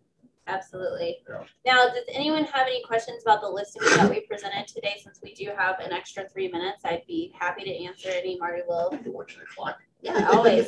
we have somebody after us. I have to like rotate. Um, Do you encourage people to share your listings and say, absolutely. yeah, always. And commercial sharing is like the biggest element in cooperation. So in residential, we did tend to be a little more like this with especially outside brokerages. Um, in commercial, there's a lot more of this, even with outside brokerages. Like I get emails from other brokers all the time in commercial going, Hey Lise, do you mind looking at this one? Do you think my price is right? What do you think? Can you share this with? There's a lot of exchange that takes place. And like if I get a, a situation like we had a hotel request situation like I don't know, it was a year ago. And um, neither of us have done hotels. I will flat out tell you, I know nothing about hotels. The math involving hotels is completely different. So we reached out. I knew a guy in California that's with KW um, who runs the hotel division for KW. Dan's actually from here. He's from Chicago. So I called him up. I'm like, I got a hotel in Chicago situation. I have no idea where to begin with it. What do I do? He immediately got on a call with me. And this man runs a huge team, huge operation, and spent 30 minutes talking me through it. Well, then we met Raj at our um, Austin. He's the other hotel guy. He's based out of Texas. Same story. I'll fly out in a heartbeat if you need me, both of them. So, you know, we've got this crew of people, not just here, which ours is kind of phenomenal. I mean, 32, mm-hmm. right? So we got an awesome crew of people, but we also have extensive networking out there that helps and is willing to cooperate and collaborate on deals. So, Hey, for example, five years ago, I had a hotel firm looking for space. They hired me. I found space in New York, Atlanta, Chicago, San Francisco, Portland. do you have to be licensed in those? No, as long as you have it, no, if you have a cooperative agreement with these other agents across the state lines, you can do it. Like a referral? It's, well, it's cooperating, uh, you're still involved. yeah, yeah. okay, But so I'm saying you, It's not hands off. There- Okay. there- people that I literally called up in those different towns, cities that I knew from working with GMAC. Say, hey guys, I got this going. Can you help me? Absolutely. Yeah. So, I can't wait to learn. I just want more. We're so happy to have you. no, it, it really is a lot of fun and I have, you know, a tremendous amount of crazy stories of some of the people I've worked with. Uh, the most famous guy I worked with way in the beginning when he didn't have, you know what the, was, uh, a little company called McDonald's. When I started working with, as an outside broker, they had no money. Back in nineteen sixty-seven, they had no money. I had to put the whole package together. No, seriously, it, uh, now, he used to be head of all McDonald's real estate, the whole worldwide. Is my son's godfather, so every once in a while I'll call him Jordan and say, hey, what the hell's going on? And he'll tell me. Bring back the McRib. Oh, yeah. So it's a connection that you make through being honest and helping each other out and not stealing. I mean, it's there. You know, I have, I've- I've told Dan, I have absolutely no fear whatsoever. This department's gonna be very successful because the company is behind it. When I sat in Austin a month ago, listening to Gary Keller, I watched his whole body language. And the last thing I really liked it was Carl. What's Carl's last name? Liebert. Yeah, I looked him up immediately. He comes from a school that I wish I had go. Was accepted, but I wasn't. He's an Annapolis graduate. Honor country. Good. I'm get a picture of this room, but round of applause for the Hey, I have. Really, really quick announcement with you guys here, and then uh, we're gonna take a break. So, uh, for those of you that are watching the stream, we're all gonna have lunch now. And the next time you hear this microphone is when uh, Kim Bisaillon from I can't pronounce the new company that she's with is going to present some stuff about a new company, a home warranty solution that you can tap into. Thank you for joining us for the Commercial Vision. We'll be back uh, in about a half an hour for more content. Thank you for tuning in. We'll see you then. Bye, guys. All right, everybody, and we are back. As you can hear, our room is packed full. We have a lot of food. Uh, thank you to Yes. Kim Bisaillon of Achusa. Achosa?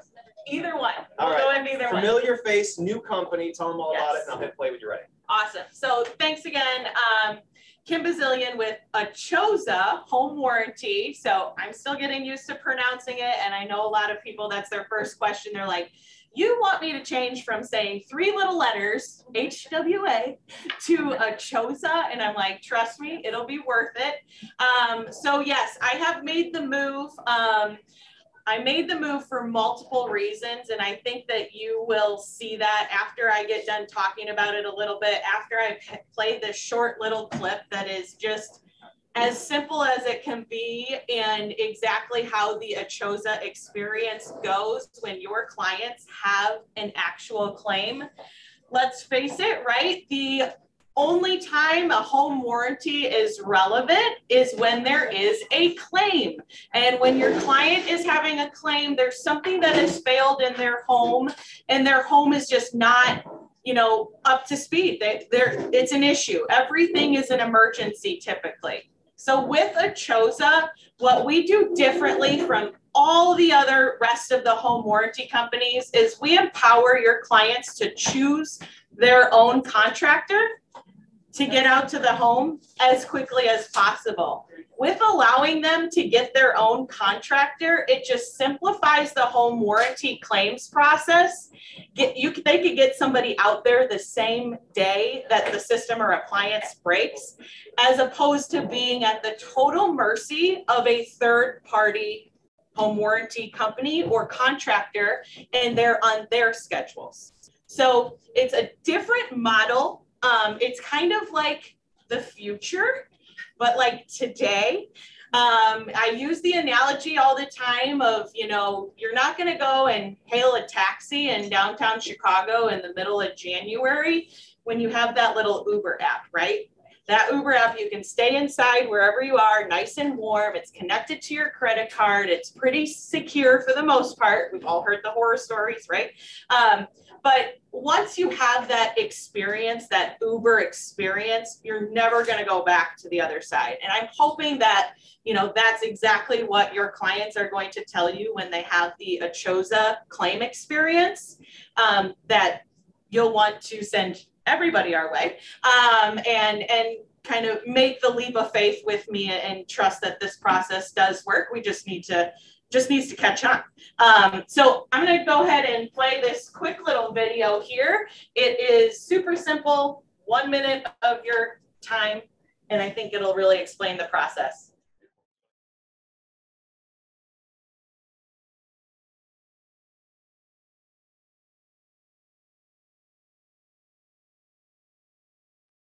So that's as, as simple as it is. Your clients call their own contractor, they get them out to the home, they diagnose the problem, they call into our customer service department.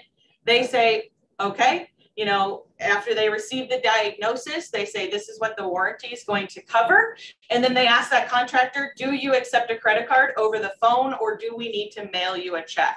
So those contractors are getting paid in the home when the job is complete, in the home while they before they leave. So it's just like any other. They're not waiting, you know, 30 days for a check from the home warranty for a job that they did in August or whatnot. So um, I again, uh, this is day 12 for me. Um, so, um, but I've been. This company has been after me for about two years now, and I've finally made the move because I'm no longer pregnant or any of all that stuff. So I'm ready. Um, call me any individual, you know, one-on-one meetings and things. Any questions you have, I'm going to stick around um, and answer those questions because I know after probably seeing that and hearing the new model, there's going to be questions. It's newer. I get it. Um, so call me on individual basis. We'll have a quick conversation or a cup of coffee and really get into the nitty-gritty sexy home warranty stuff. Listen, we trust you, and you made a switch, so let's see where this goes. Yeah. We appreciate you. That. Thank you for lunch. We appreciate all of our yeah. sponsors. Thank you so much. All right, and we are back. Okay, so let me kind of lay out the rest of the schedule for today. Uh, if you are here in person, obviously finish up your eating. Uh, we have the world famous Colleen Ochab. It's going to niche down, niche, niche, niche, niche, because we're fancy. uh, your marketing effort. Uh, for a lot of you, this looks like going small to go big and telling your story to the people that are going to listen to you. So Colleen is going to dive into that. If you are interested, Stephanie Welter is also going to talk about goal setting. Uh, if I could say, somebody that was brand new, uh, that is now at the top of their game is Stephanie Welter, and she did it through goal setting. So if you want that one-on-one interaction that you can only get here at KW, she'll be in the fireside chat section here shortly. Colleen, let's take it away. Okay, so um, I've kind of shortened up what I was going to talk about today to fit into our schedule. Um, but the biggest thing is um, like what and how of niching, and then ultimately why it's going to save you marketing dollars. And I know Dan had mentioned like starting small to go big. I think we can always stay small to go big, to be honest, um, because we really want to talk to the people who are going to matter most to us, right? So for some examples, um, I pulled some Instagram accounts that I just want to highlight to you guys just because they do a good job and they're not all real estate or realtors. I chose two realtors and then two other options. So the first one, and I just want to post out, please don't have comparative reality to their followers. You do not need to have a big follower base to do a big business. Um, they do a really good job, so that's why their followers are this way, but they also have whole teams, most of them, who run their videos. So please just give yourself grace do not compare yourself. Um, but I just want to highlight the things they're doing really well and what they're all doing the same, right? Um, and we can really learn from that. So the first one is um, Brian Sells Miami. So Brian loves his car. We can tell that immediately from his posts. So he's probably attracting just a lot of followers based off of this luxury vehicle, people who want those luxury vehicles. And he honestly, by looking at his post, talks about it a lot. So he's not even talking about real estate. He's sharing literally a passion of his and he's growing from it. The thing is, is half the time he parks his car in front of his luxury listings that he's selling. He's like, oh, Brian the realtor showing up at this luxury listing. And so he's marketing himself as a luxury agent. So that's something to think about is, you know, if you do have that nice car and you have the luxury listing, like it just kind of goes par for the course, right? He's also showing his lifestyle matches those of his clients, right? So he's going to attract those people just because their lifestyles kind of match. Now, you don't have to do luxury per se. Um, but if you have a specific lifestyle and you are going to those types of clients, like you're a lakefront, you sell lakefront properties and you have a house on the lake or you have a summer home on a lake, right? You can share that personal content that also shows like I'm an expert in luxury or lakefront real estate, right? So he does an interesting thing um, to kind of run that way. So that's this account. On the next one, this is not a real estate. This is one of my friends, actually. I went to high school with him. Um, but he does videos all about theme parks and theme park food. So he's built an entire following, and he's much bigger on TikTok. You see, he has 180K on TikTok. So that's where he started over the pandemic, so literally 2020. Um, but he literally just shares because he played Peter Pan at Disney World for a while in the college program that these are the secrets behind Disney World and other theme parks. Um, he's since, you know, gotten some paid opportunities to go explore things. Um, but he really just niches around that. Like, that's not what he does for his job at all. He actually works at Fujifilm, like down the road from our house. like, I kid you not. Like, but that's what he does on the side. And now he's getting paid to like go to Chicago hotels and film his evening at their restaurant and things like that. Um, but, you know, he grew a big following just because theme parks, theme park food, and then he like made fun of people at theme parks. And that was like the whole fun of it. So just something to think about is like if you have something you're really knowledgeable about, even if it doesn't have to do with your business, like you can attract people to you and we'll find a way to get your real estate in there too, right? So I just want you to think about that. Obviously, this is a very different thing, but just what he did at a really high level. Um, the next, you may know her, Katie Lance. Now she does social media teaching for real estate agents. That's all she focuses on. She probably knows a ton more about marketing and other capacities for real estate, but she doesn't care. Like that's all she does. She goes social media marketing, but then by watching her on social media, I mean, she has 32,000 followers. So obviously growth from here. I know she has a whole team. If you've seen her webinars, like people are running that. But what she's doing is she's teaching you about social media, but in the end, you're going to end up in Forget Smart Academy, right? Because you want to learn all the things she has to say, and she doesn't just talk about social media in the academy. So that's why people buy in, they go to her seminars, things like that. So that's one of the great things I'd like to highlight is that if you just focus on first time homebuyers, it doesn't mean you're not going to get the downsizers, right? Once you establish yourself as an expert, they're going to say, okay, she really knows all about getting social smart, but then her program goes far beyond that. And like how to communicate with these leads once you get them, right? And things like that. So she kind of goes way beyond, but starts with just this is how you post on social media. What accounts should I be using? All those things. And then the last one is another realtor. Again, ignore her followers, 160,000. Um, but I, what I like to highlight about her, so she's a Florida realtor.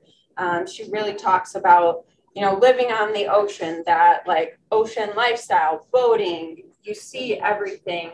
And at the beginning, she didn't have money to do those things, but she would put herself in those situations, right? So she was like, fake it till you make it. So she made friends with the dock owner and was like, Can I take a few videos on your boat? Right? Now she has her own boat. And then essentially what she's saying is like, you can do it too, like real estate investing, right? Like she's grown her money from this. So that's like a very specific specific ocean Florida lifestyle adventure kind of water sports. She does all of that. Um, and frankly, if you look at her profile, it's very crafted. She's always using pinks and whites and blacks. Like she's just got a very crafted profile. So it's aesthetically pleasing. Um, and she does lots and lots of video. So I just want to like highlight some of those. And I just want to point out the thing that they're, the things they're all doing, right, to grow their social media. And this is just on Instagram, but you can do on Facebook as well. Um, the first thing is you'll notice they all have these little circles around their profile pictures. That means they have active stories. So stories are the things that come up, they last 24 hours and they disappear. I have also noticed that I'm getting more leads from my stories than I am through posts. So this is where they're going to show up every day, show the behind the scenes of their life, show the interesting things that they're doing. And personally, that's going to tell your story. And I tell you guys to tell your story all the time, right? So showing that behind the scenes of your day is really going to allow people to meet you. So if you are a mom of hockey players, like show the games, right? You're going to make friends with those other hockey moms. Maybe you'll get people asking, oh, like what club did your kids join? You're going to make a connection that way. So stories are a great way to do it. The next you'll see they have um, not their website, but a link to like a Linktree or a beacon site. And one of those is where you can put multiple links on the site. So if you want to send them back to your Facebook page, to your website, to literally a consultation link to directly send their info to you. That's what they're using. And then as they get brand deals and things like that, they can also put like affiliate codes and things in there. Um, but they're all using that. Um, so they don't waste their solo link on Instagram, right? On Instagram, you have no other links. You get one link. So they want to show and push people to multiple things. So they have this one link that shows a bunch of links once they click on it. Um, so like for the office, we're doing one for like move with KW. Do you want to become an agent? And it's like, are you needing an agent? Here you go. Like, so Is that in their profile? correct? That Yes. they, they have that? Okay. Yeah, so it's in their profile information. Um, you'll also notice um, the usage of, well, not for him, he actually does a bad job. Um, but like Max does theme parks and food. So this name for him is searchable on Instagram. So if someone searches theme parks, he's coming up because it's in his name. So the same thing if they type social or social media, Katie's is going to come up because the keywords are in her name. The same thing, real estate for her, that's pretty general. So like people that have like Florida real estate, it's going to be way more specific. Um, things like that. That is the only other searchable thing besides your actual Instagram handle on Instagram. So they don't care like what else is in your bio. So if you can put it in your actual name, you can search it. Um, what else? Well, like you'll see, they all have highlighted stories, which are these circles in the middle. So these are those 24 hour stories that they've saved permanently to live on their profile. So like Katie does a really good job because she has these like little cover pictures and makes it all the same. Um, and she literally has like, this is my Instagram tips, here's my podcast. And she sorts her some of her stories, not all of her stories, but some of her stories in those categories. The same thing, she has her currently active listings in a story. So um, those are options as well. And then the last thing I want to point out is that in these first six photos for each of them, they all have reels. That's this little icon. So those videos are what's pushing in Instagram right now. And I know you guys hate it, but Reels is where it's at, unfortunately. Um, and you'll see actually this one who has 160K. They're all Reels. She doesn't post a single normal picture anymore. All Reels, videos, all the time. But that's, she's got a team. She's got a video team, right, to make her videos. So the more you can do reels, so you're walking through that new listing, take some videos, set it to music. You know, those are going to help you get people's attention. Because Instagram, also Facebook, they're going the video route. So that's what we got to unfortunately play with. So if you're ready for it, try it out. I've been testing it too. I hate doing it. But the last thing I want to talk about, and then I want to give you guys the time to either ask questions or share some of what you think your own niche might be. But these are examples, and sorry for this bottom one getting covered on the screen here. Um, but these are examples of real estate niches. And you should pick one or two, and that's it. One or two, play to them all the time. It doesn't mean you're not going to get other things, but you should play to those um, niches as much as you can. So it could be by property type. So do you just want to sell, like, play to that single family home or multifamily home? So you're going more for the investors, right? Um, condos specifically, there's actually a big niche just to do condos, which is interesting. Commercial, obviously, historic homes, so like certain types of homes that way.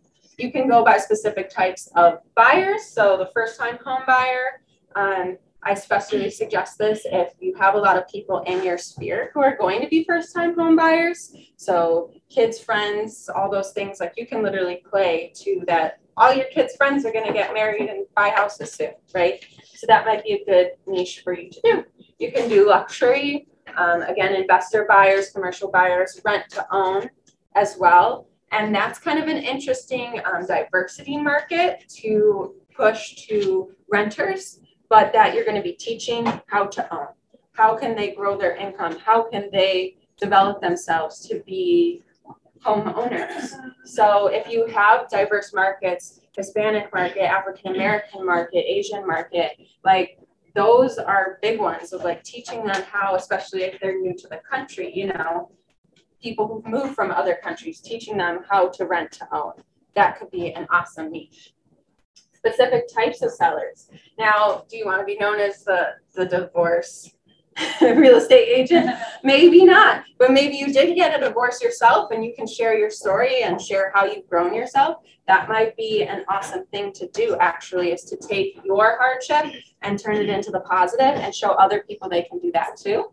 So that's why I put it up there. So like, don't leave it off the table. Um, if you notice any of the best influencers, they have a sob story to start and it's great. Lean into your sob story and show how you grew from it and show other people how they can do it too, right? That's essentially what influencers do.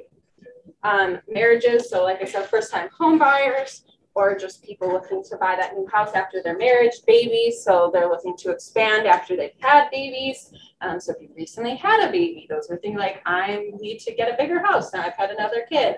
Um, retirement and downsizing. So if you're currently experiencing retiring and downsizing with your parents or um, things like that, you can share your journey and then attract more of those um, buyers and sellers that way. Investors, home flippers are always good seller options, and then the FSBO as well.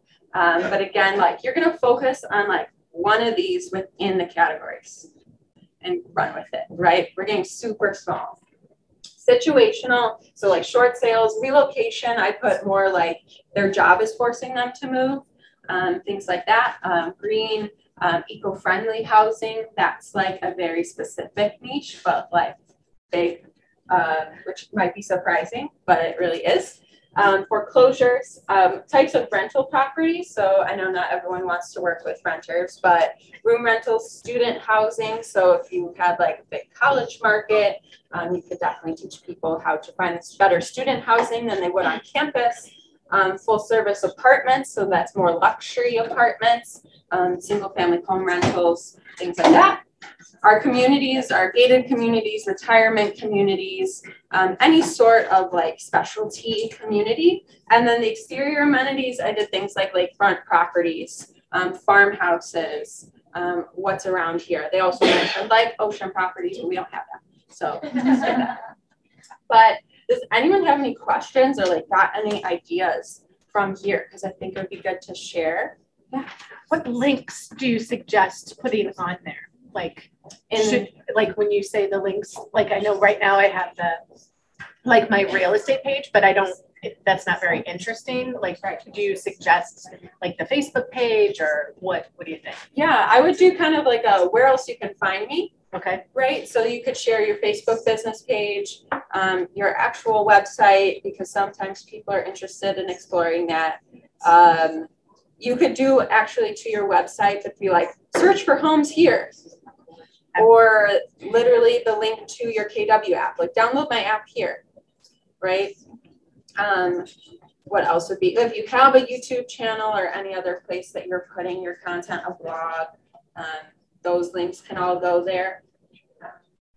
Yeah. And frankly, if there's like a really cool article about you, like on a news website, like share the link to that. Like check me out in the Daily Herald. I have question. Yeah. So as far as like equipment to make you look good or better or iPhone. highlight or like Plastic do you, surgery. do you have like a list? Because I know that, you know, some people do have, you know, a microphone and then they have a light and do you, you just, do you have a list? or- To be honest, iPhone, that camera works great. Um, good lighting, be outside. Right? You do not have to make this like super fancy to do well. Literally, I have a friend who only does selfie videos in her kitchen. I can't do that. I tried. I, I tried to like put the little light on here and then I was like this. You don't even need the light. Go outside, stand in the sun. But Beautiful a light. A lot of people I see though do have like a ring light or a, a bigger. Right. And I would say a ring light's great if you're not gonna move. If you're gonna set it up and you're gonna do your static shot, a ring light. But if you don't have a ring light, like get a lamp that can like, you can tilt the shade. There you go. Like, Okay. I really wouldn't worry about how hot, like a video quality you have when you start. It's gonna be about how often, Okay. your consistency, how much are you showing up? Are you responding to comments on your videos? Okay. That's what's gonna generate interest and you can get a video team eventually, you know? How successful can you be on Instagram without everyday stories? Um, I would say stories are where it's at. So I wouldn't do everyday posts. I would do everyday stories. Um, you can be successful without the stories, but like I said, Instagram's kind of going for that video side of things. So So the comment that is allowed us to post to Instagram and Facebook, right, when we do the ads. So it's better to choose the stories then.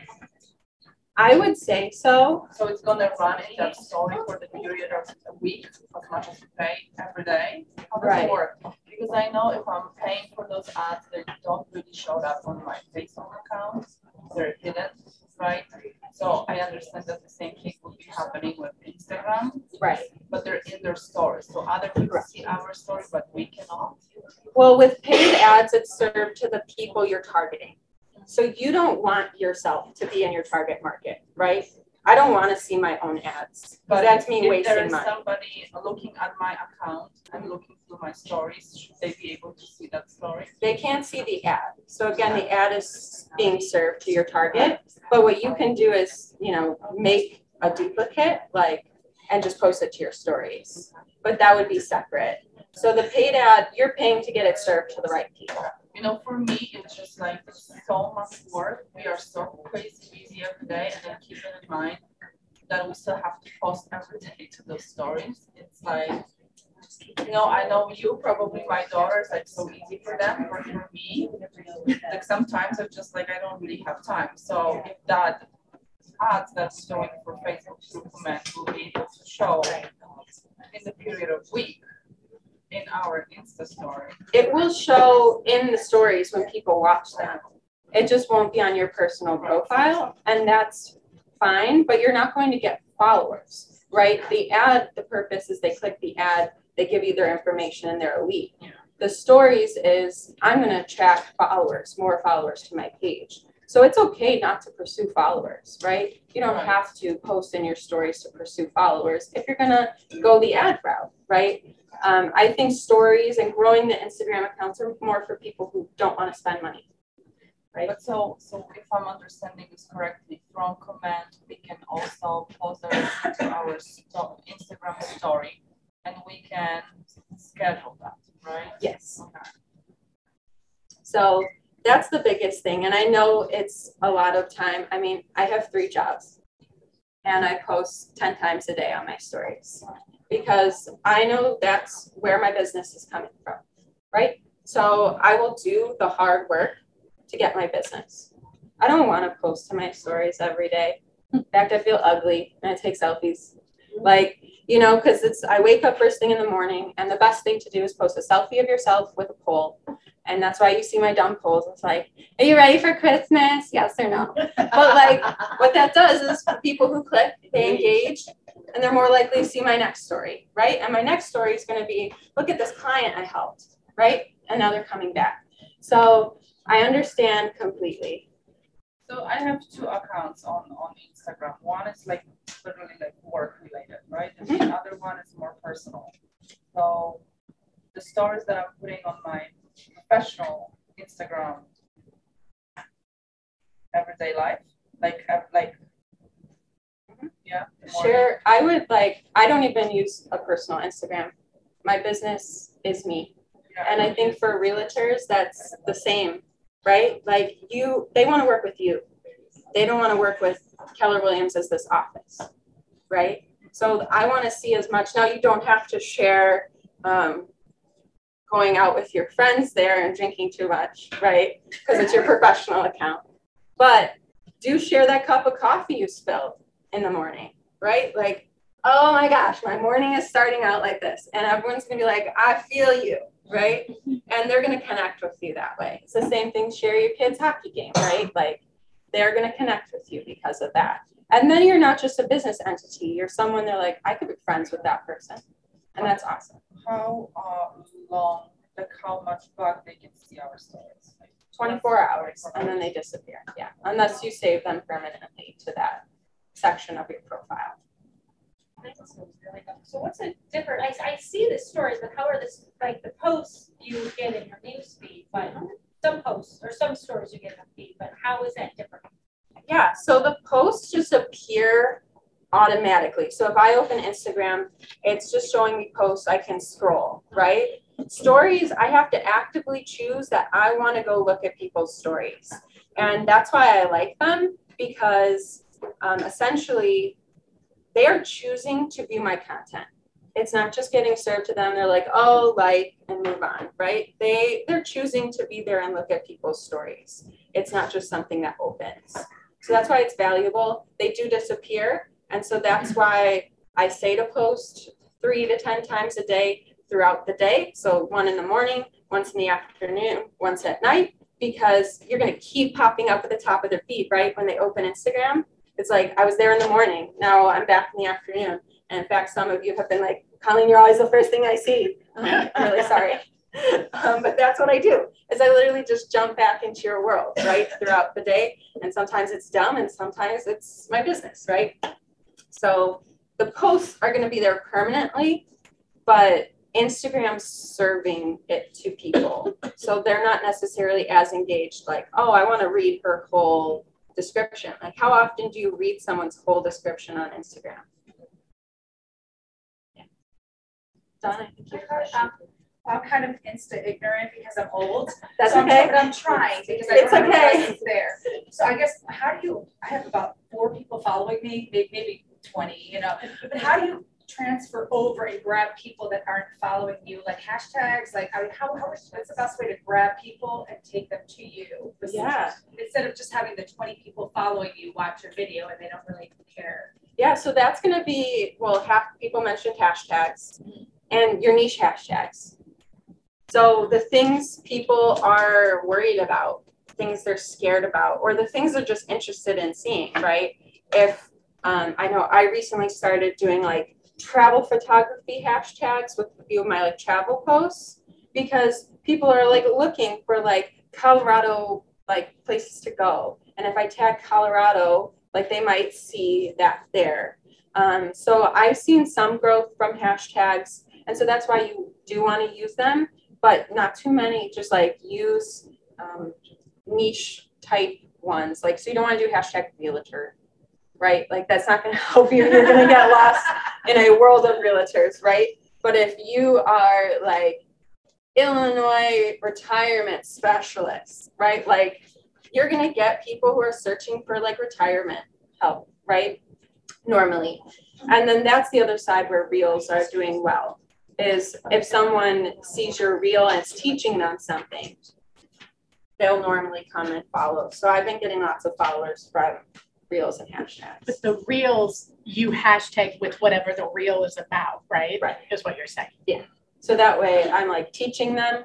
Um, typically, those are the ones that do well or that are funny. like those just blow up sometimes. Yeah. Other questions? How are we on time? Three minutes. What is too many hashtags? Well, you can only have 30. Oh, really? Yeah, so you're limited to 30. Um, but what I find is people are like, which ones do I do? And trying to type 30, you'll be like, okay, Realtor Illinois. Like you just throw some extra ones in. And like those aren't helping you. So just ignore them. Like focus in and pick your 10. Give yourself a personal hashtag, like I use my name or um, like my Instagram handle um, things like that, so that people, if they search that, they would just see all my posts because no one else is using it, and things like that. So. Start using yours. Cool. Use mine.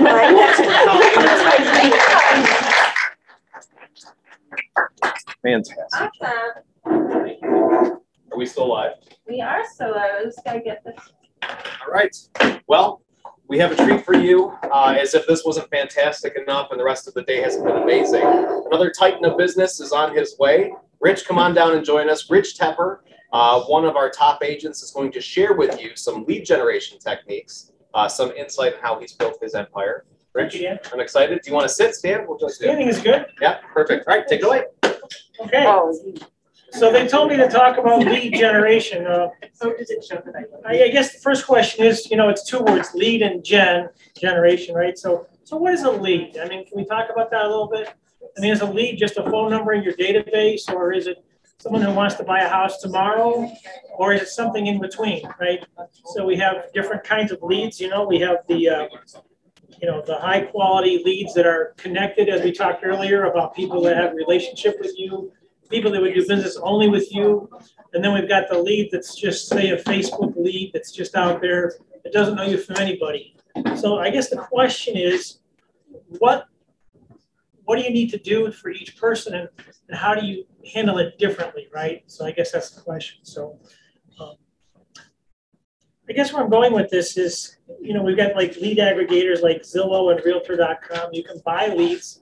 You can buy leads on a, on a referral basis. You can buy leads on a pay per click basis. You know, there's different ways you can buy leads. So, you know, I guess the question is what, how does it work for you? You know, so, you know, so the lead is say hot, you know, are they zero to 30, zero to 60, zero to 90 days out, three to six months, six to 12 months or longer? Um, and then what's their motivation? You know, so do we know all of these different pieces to the process?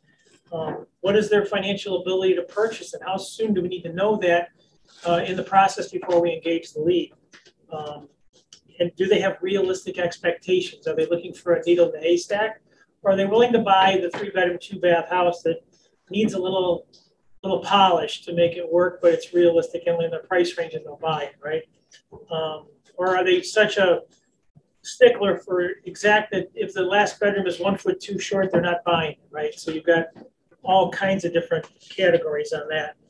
Um, and are they most likely to do business with you versus someone else, right? So, so this is basically what a lead is, and then, and then once you know that, then it's about what you're going to do to generate a lead, right? So where does your lead come from? So where are you guys getting leads from now? What, what's your most common source? Not Zillow. Referrals. Referrals?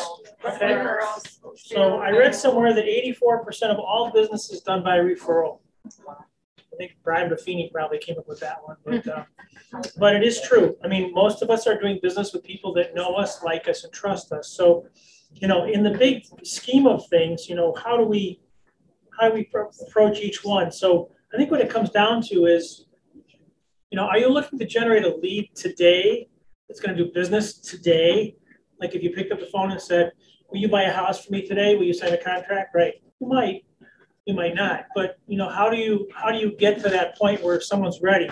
And I think it was um, alluded to earlier is that there's a process. It takes, um, I think Haley had said it, you know, 17 to 24 months for an internet lead or, you know, and then if you go to like a Zillow lead, the, the, the funnel time is a little shorter. So you have that. And then you got the ones like Scott was talking about earlier is they call you up and say, I need to sell my house and I need to be in, I need to be in Tennessee in three weeks.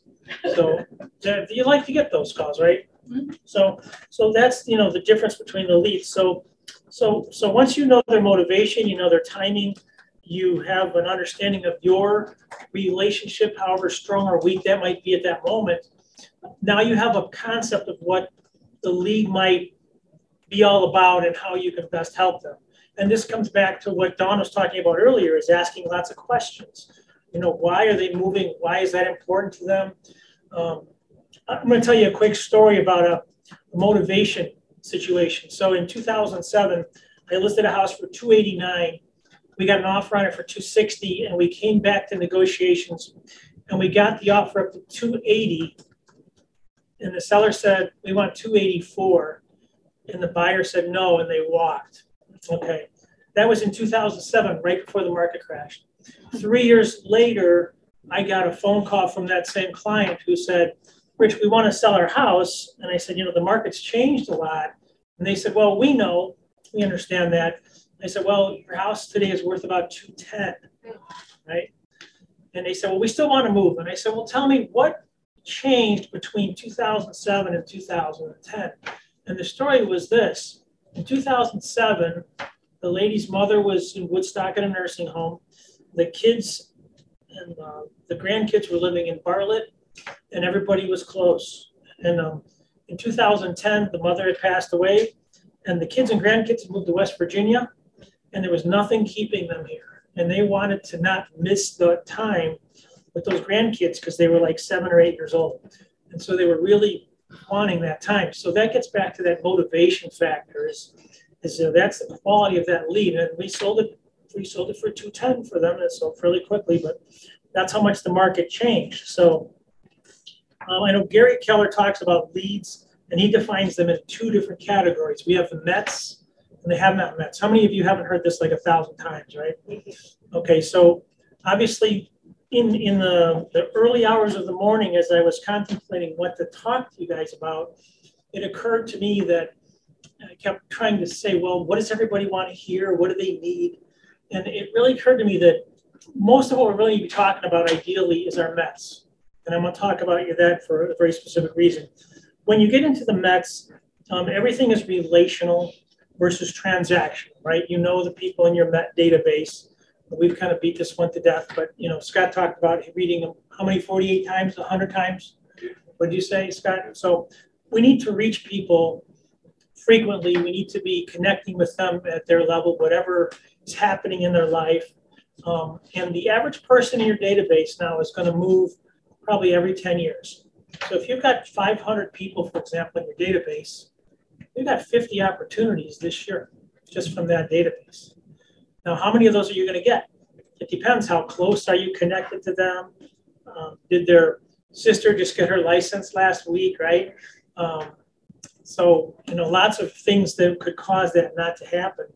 But by the same token, if you're there, you're likely to get a better shot at those 50 deals than anybody else. Does that make sense? So that's really the concept of generating a lead is just, in my mind, after having done this for over 30 years and having worked the hard leads and having spent a lot of money on the hard leads, if you can build a business around your database and just stay on top of it, that's really the huge win for leads. Um, they cost a lot less. Um, I just got back from a seminar where I met with a team that has almost 90 people on the team.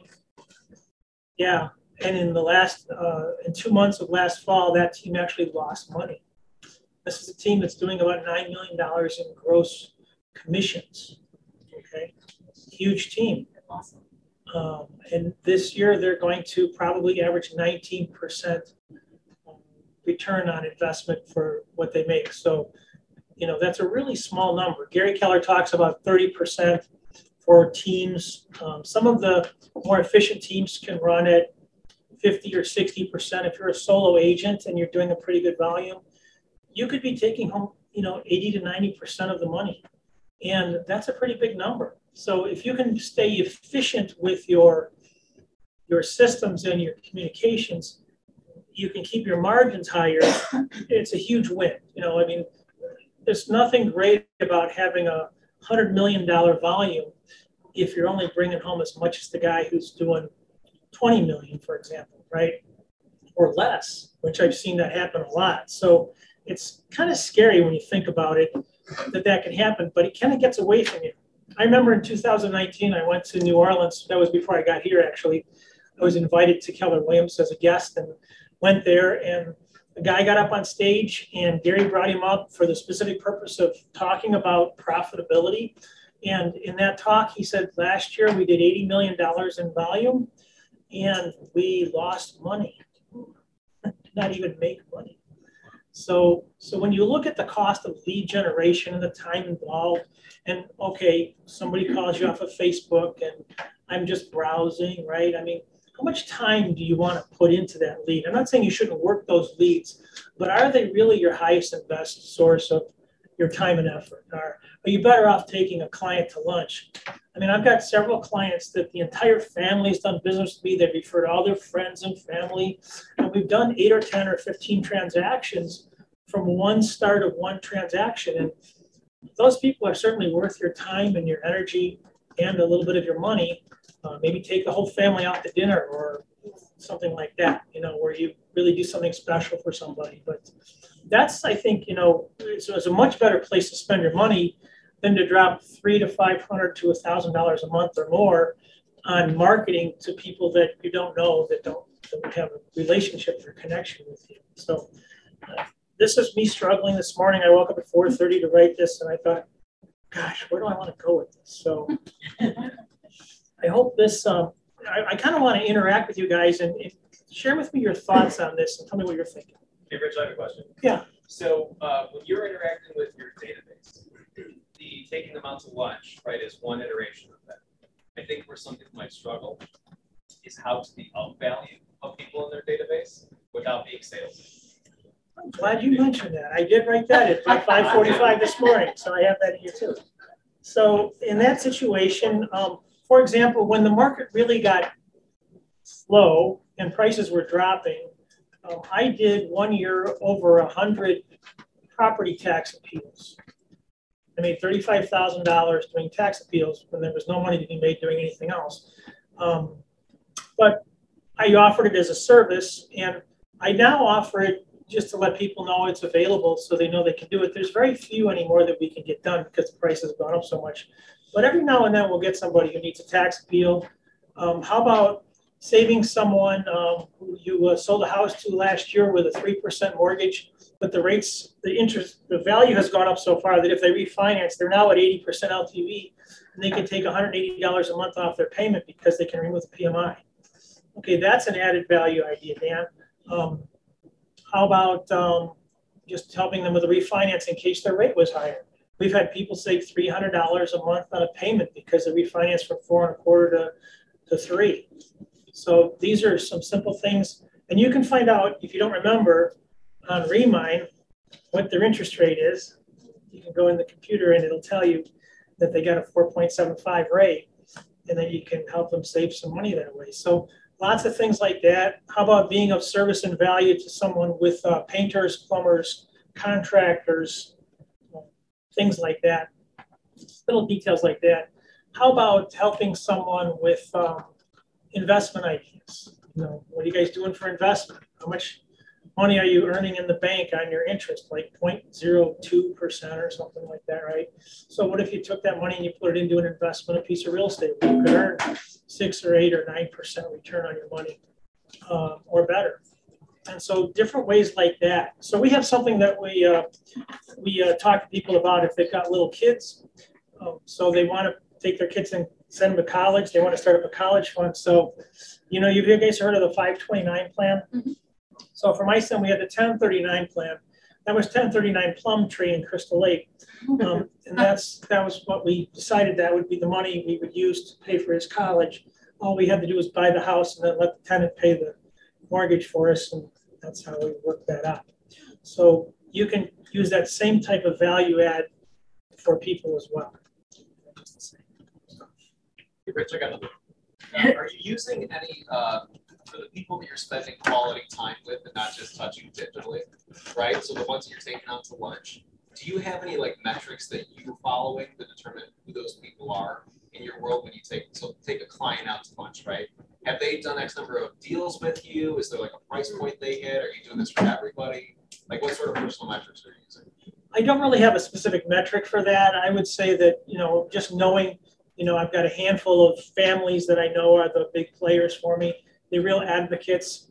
But then there's other people like like Susan Martino. I mean, she's probably sent half a dozen people to me, you know, and her daughter and son-in-law sold their house through me. And when I call her, she goes, "I just talked to so and so about you last week." You know, every phone call I make with her is like that. Um, those are your advocates, and we got to treat those people really well. So, you know, a little nicer Christmas card or something more personal, or a, a little gift in the mail, or a gift card, you know, to Panera or you know, Starbucks or something like that, just a little gimme or something.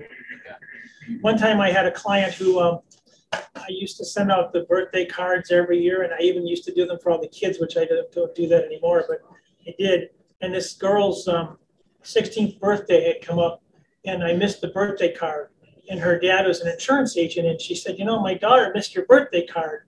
Um, so I, I sent her a dozen roses. Aww. Yeah, and that and they never forgot it. so those are little kind of extras I would say you can do for people. But think of all the money we waste on cold leads and all the time and energy and systems we create just to do cold leads.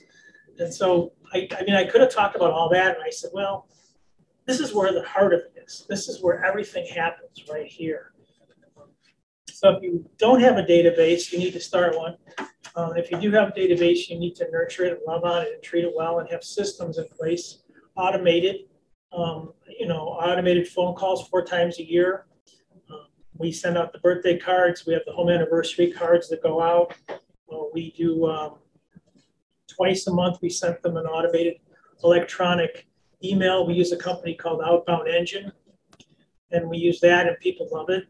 I just got, in fact, while I'm sitting here, I got a email from one, and unfortunately, uh, my my client uh, her husband had just passed away. So she said, I got your birthday, your Christmas message. Unfortunately, um, you know, David passed away. Can you give me a call? You know, but that was just a connection just from being there twice a month. Plus, we do the same thing with Facebook. This particular company helps me with that. So the messages go out on Facebook. I mean, none of this is earth shatteringly difficult, right? It's just part of the process. But I would say the phone calls are by far the most important thing you can do. Staying personally in touch. You know, one guy, you know, he had some health problems. So next time I called him, first thing I said was, you know, and he wants to sell his house, but we didn't talk about that. We talked about, you know, he had this heart condition thing. How's it going? What's happening? What's it feel like? We all have to connect at a deeper level with that. So I would say those are the main the main pieces. But you know, from a value perspective, like I said, um, estate planning, retirement planning. You know, should their house be in a trust? You know, should they be talking to an attorney about that? These kinds of details are extra things that we can bring to the table. So, so Rich, what I'm hearing is that you're leveraging systems to help you stay. Yes, systems, people, and technology. So every day, my assistant Nikki goes in the computer and it tells her whose birthday is up and whose home anniversary is up. She fills out the card. If it's the home anniversary, she writes a little number in the upper corner where the stamp goes. So if it's the sixth anniversary, I'll say, hey, Bob and Susan, congratulations on six years in your home. Hope things are going great. If there's anything else I can do for you, let me know. By the way, have a Merry Christmas. Da, da, da. And then we also put a little note in the side which says, you know, if you're interested in knowing more about your home's value, it's a pre-printed note. Um, we'd be happy to give you an update on that. There's no charge. It's part of our service process. And we would include these in the home anniversary cards. And the goal is just to get them to reconnect at a different level. Something was said earlier too about, about whether or not somebody's actually calling you back. So I had something happen this year that was interesting. Past client of mine called them four times a year, sent them the cards, nothing ghosted me, right? Still kept leaving the messages. They called me up one day and said, Hey, Rich, we already saw our house. They never said, Hey, sorry, I never called you back. I've been a real jerk. Didn't get any of that, right? Just let's sell our house. So they were getting the message, they just aren't ready to communicate. So you got to think sometimes that's okay. How many times do you think you, you might have covered this when I was out with how many times do you think you're interacting with one single person in your database over the course of a year? Well, four phone calls, probably two or three letters, uh, 24 emails. And then if they're on Facebook, that would be more. Yeah. So at a minimum, they would be 30, 35 contacts probably. I think we've heard that. Somewhere in that range. Something like that. Rich, you have a lot of this down to like a system to where maybe your assistant's doing some stuff, automated stuff is happening. Do you have like a dedicated time to lead generate? And if so, like how often is that? Um, I'm on, I don't uh, take any appointments in the morning. I do all my calls in the morning. Uh, depending on what time I get up, usually between eight and nine, I'm in the office until about 11. And um, if you let something interrupt your call time, that's where you're going to make problems. There's always something that'll get in the way. So do not take calls at all or any interruptions during your call time. And you probably should be able to reach about six people an hour on average. Having a few quality conversations. Now, I will tell you, you know, it's easy to get caught up in conversations and you look at the clock on the phone and my phone tells me, Rich, you're at 24 minutes, you know, well, it's time to get off the phone. Find a, find a way out, you know, you gotta, you gotta move on to the next thing. You can't, you can't spend more than a few minutes on most phone calls. Who feels attacked right now? What's that? That's awesome. Yeah, so, so yeah, so the system tells me when to call and who to call. Um, and so I guys look at my task list every day and it's an automated process, which you can do through Command or any CRM.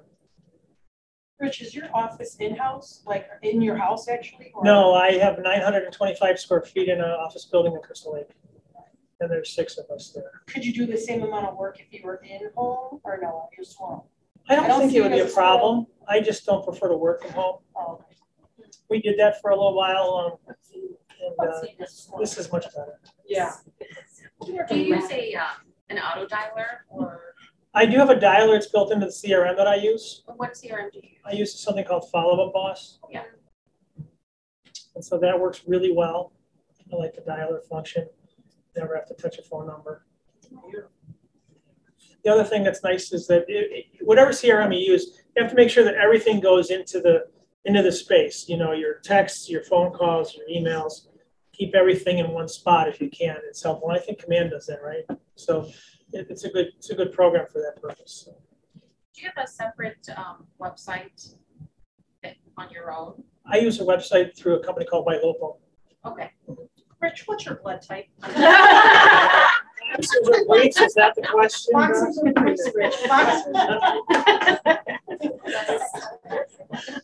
You attended the prevention. I did. I should be fired. Sexual prevention training. I'm the first one that would fire me. It's a good place to end it right there, yeah. Yeah, well, that was good. So I don't know about you guys, but the thing that I keep hearing, especially uh, if you look at this this event today, or, I mean, you asked five questions, I kept track, right?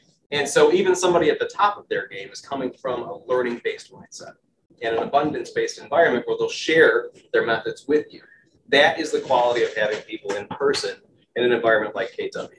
Uh, also, the thing I kept hearing about you guys is that the fundamental tools just work. I can't tell you how many. Uh, now, Rich is like you're a systems master, but there are a lot of other big agents that just use spreadsheets. And so, like, what's the best CRM? The one that works, the one that you use. Awesome. Round of applause for Rich. All right, for those of you on the stream, this is where we say goodbye. The rest of us are going to go party. We're going to make some pop bys. We're going to eat some of that candy. And uh, if you're feeling like, man, I missed out, You did. you did. And we'll see you later. Bye.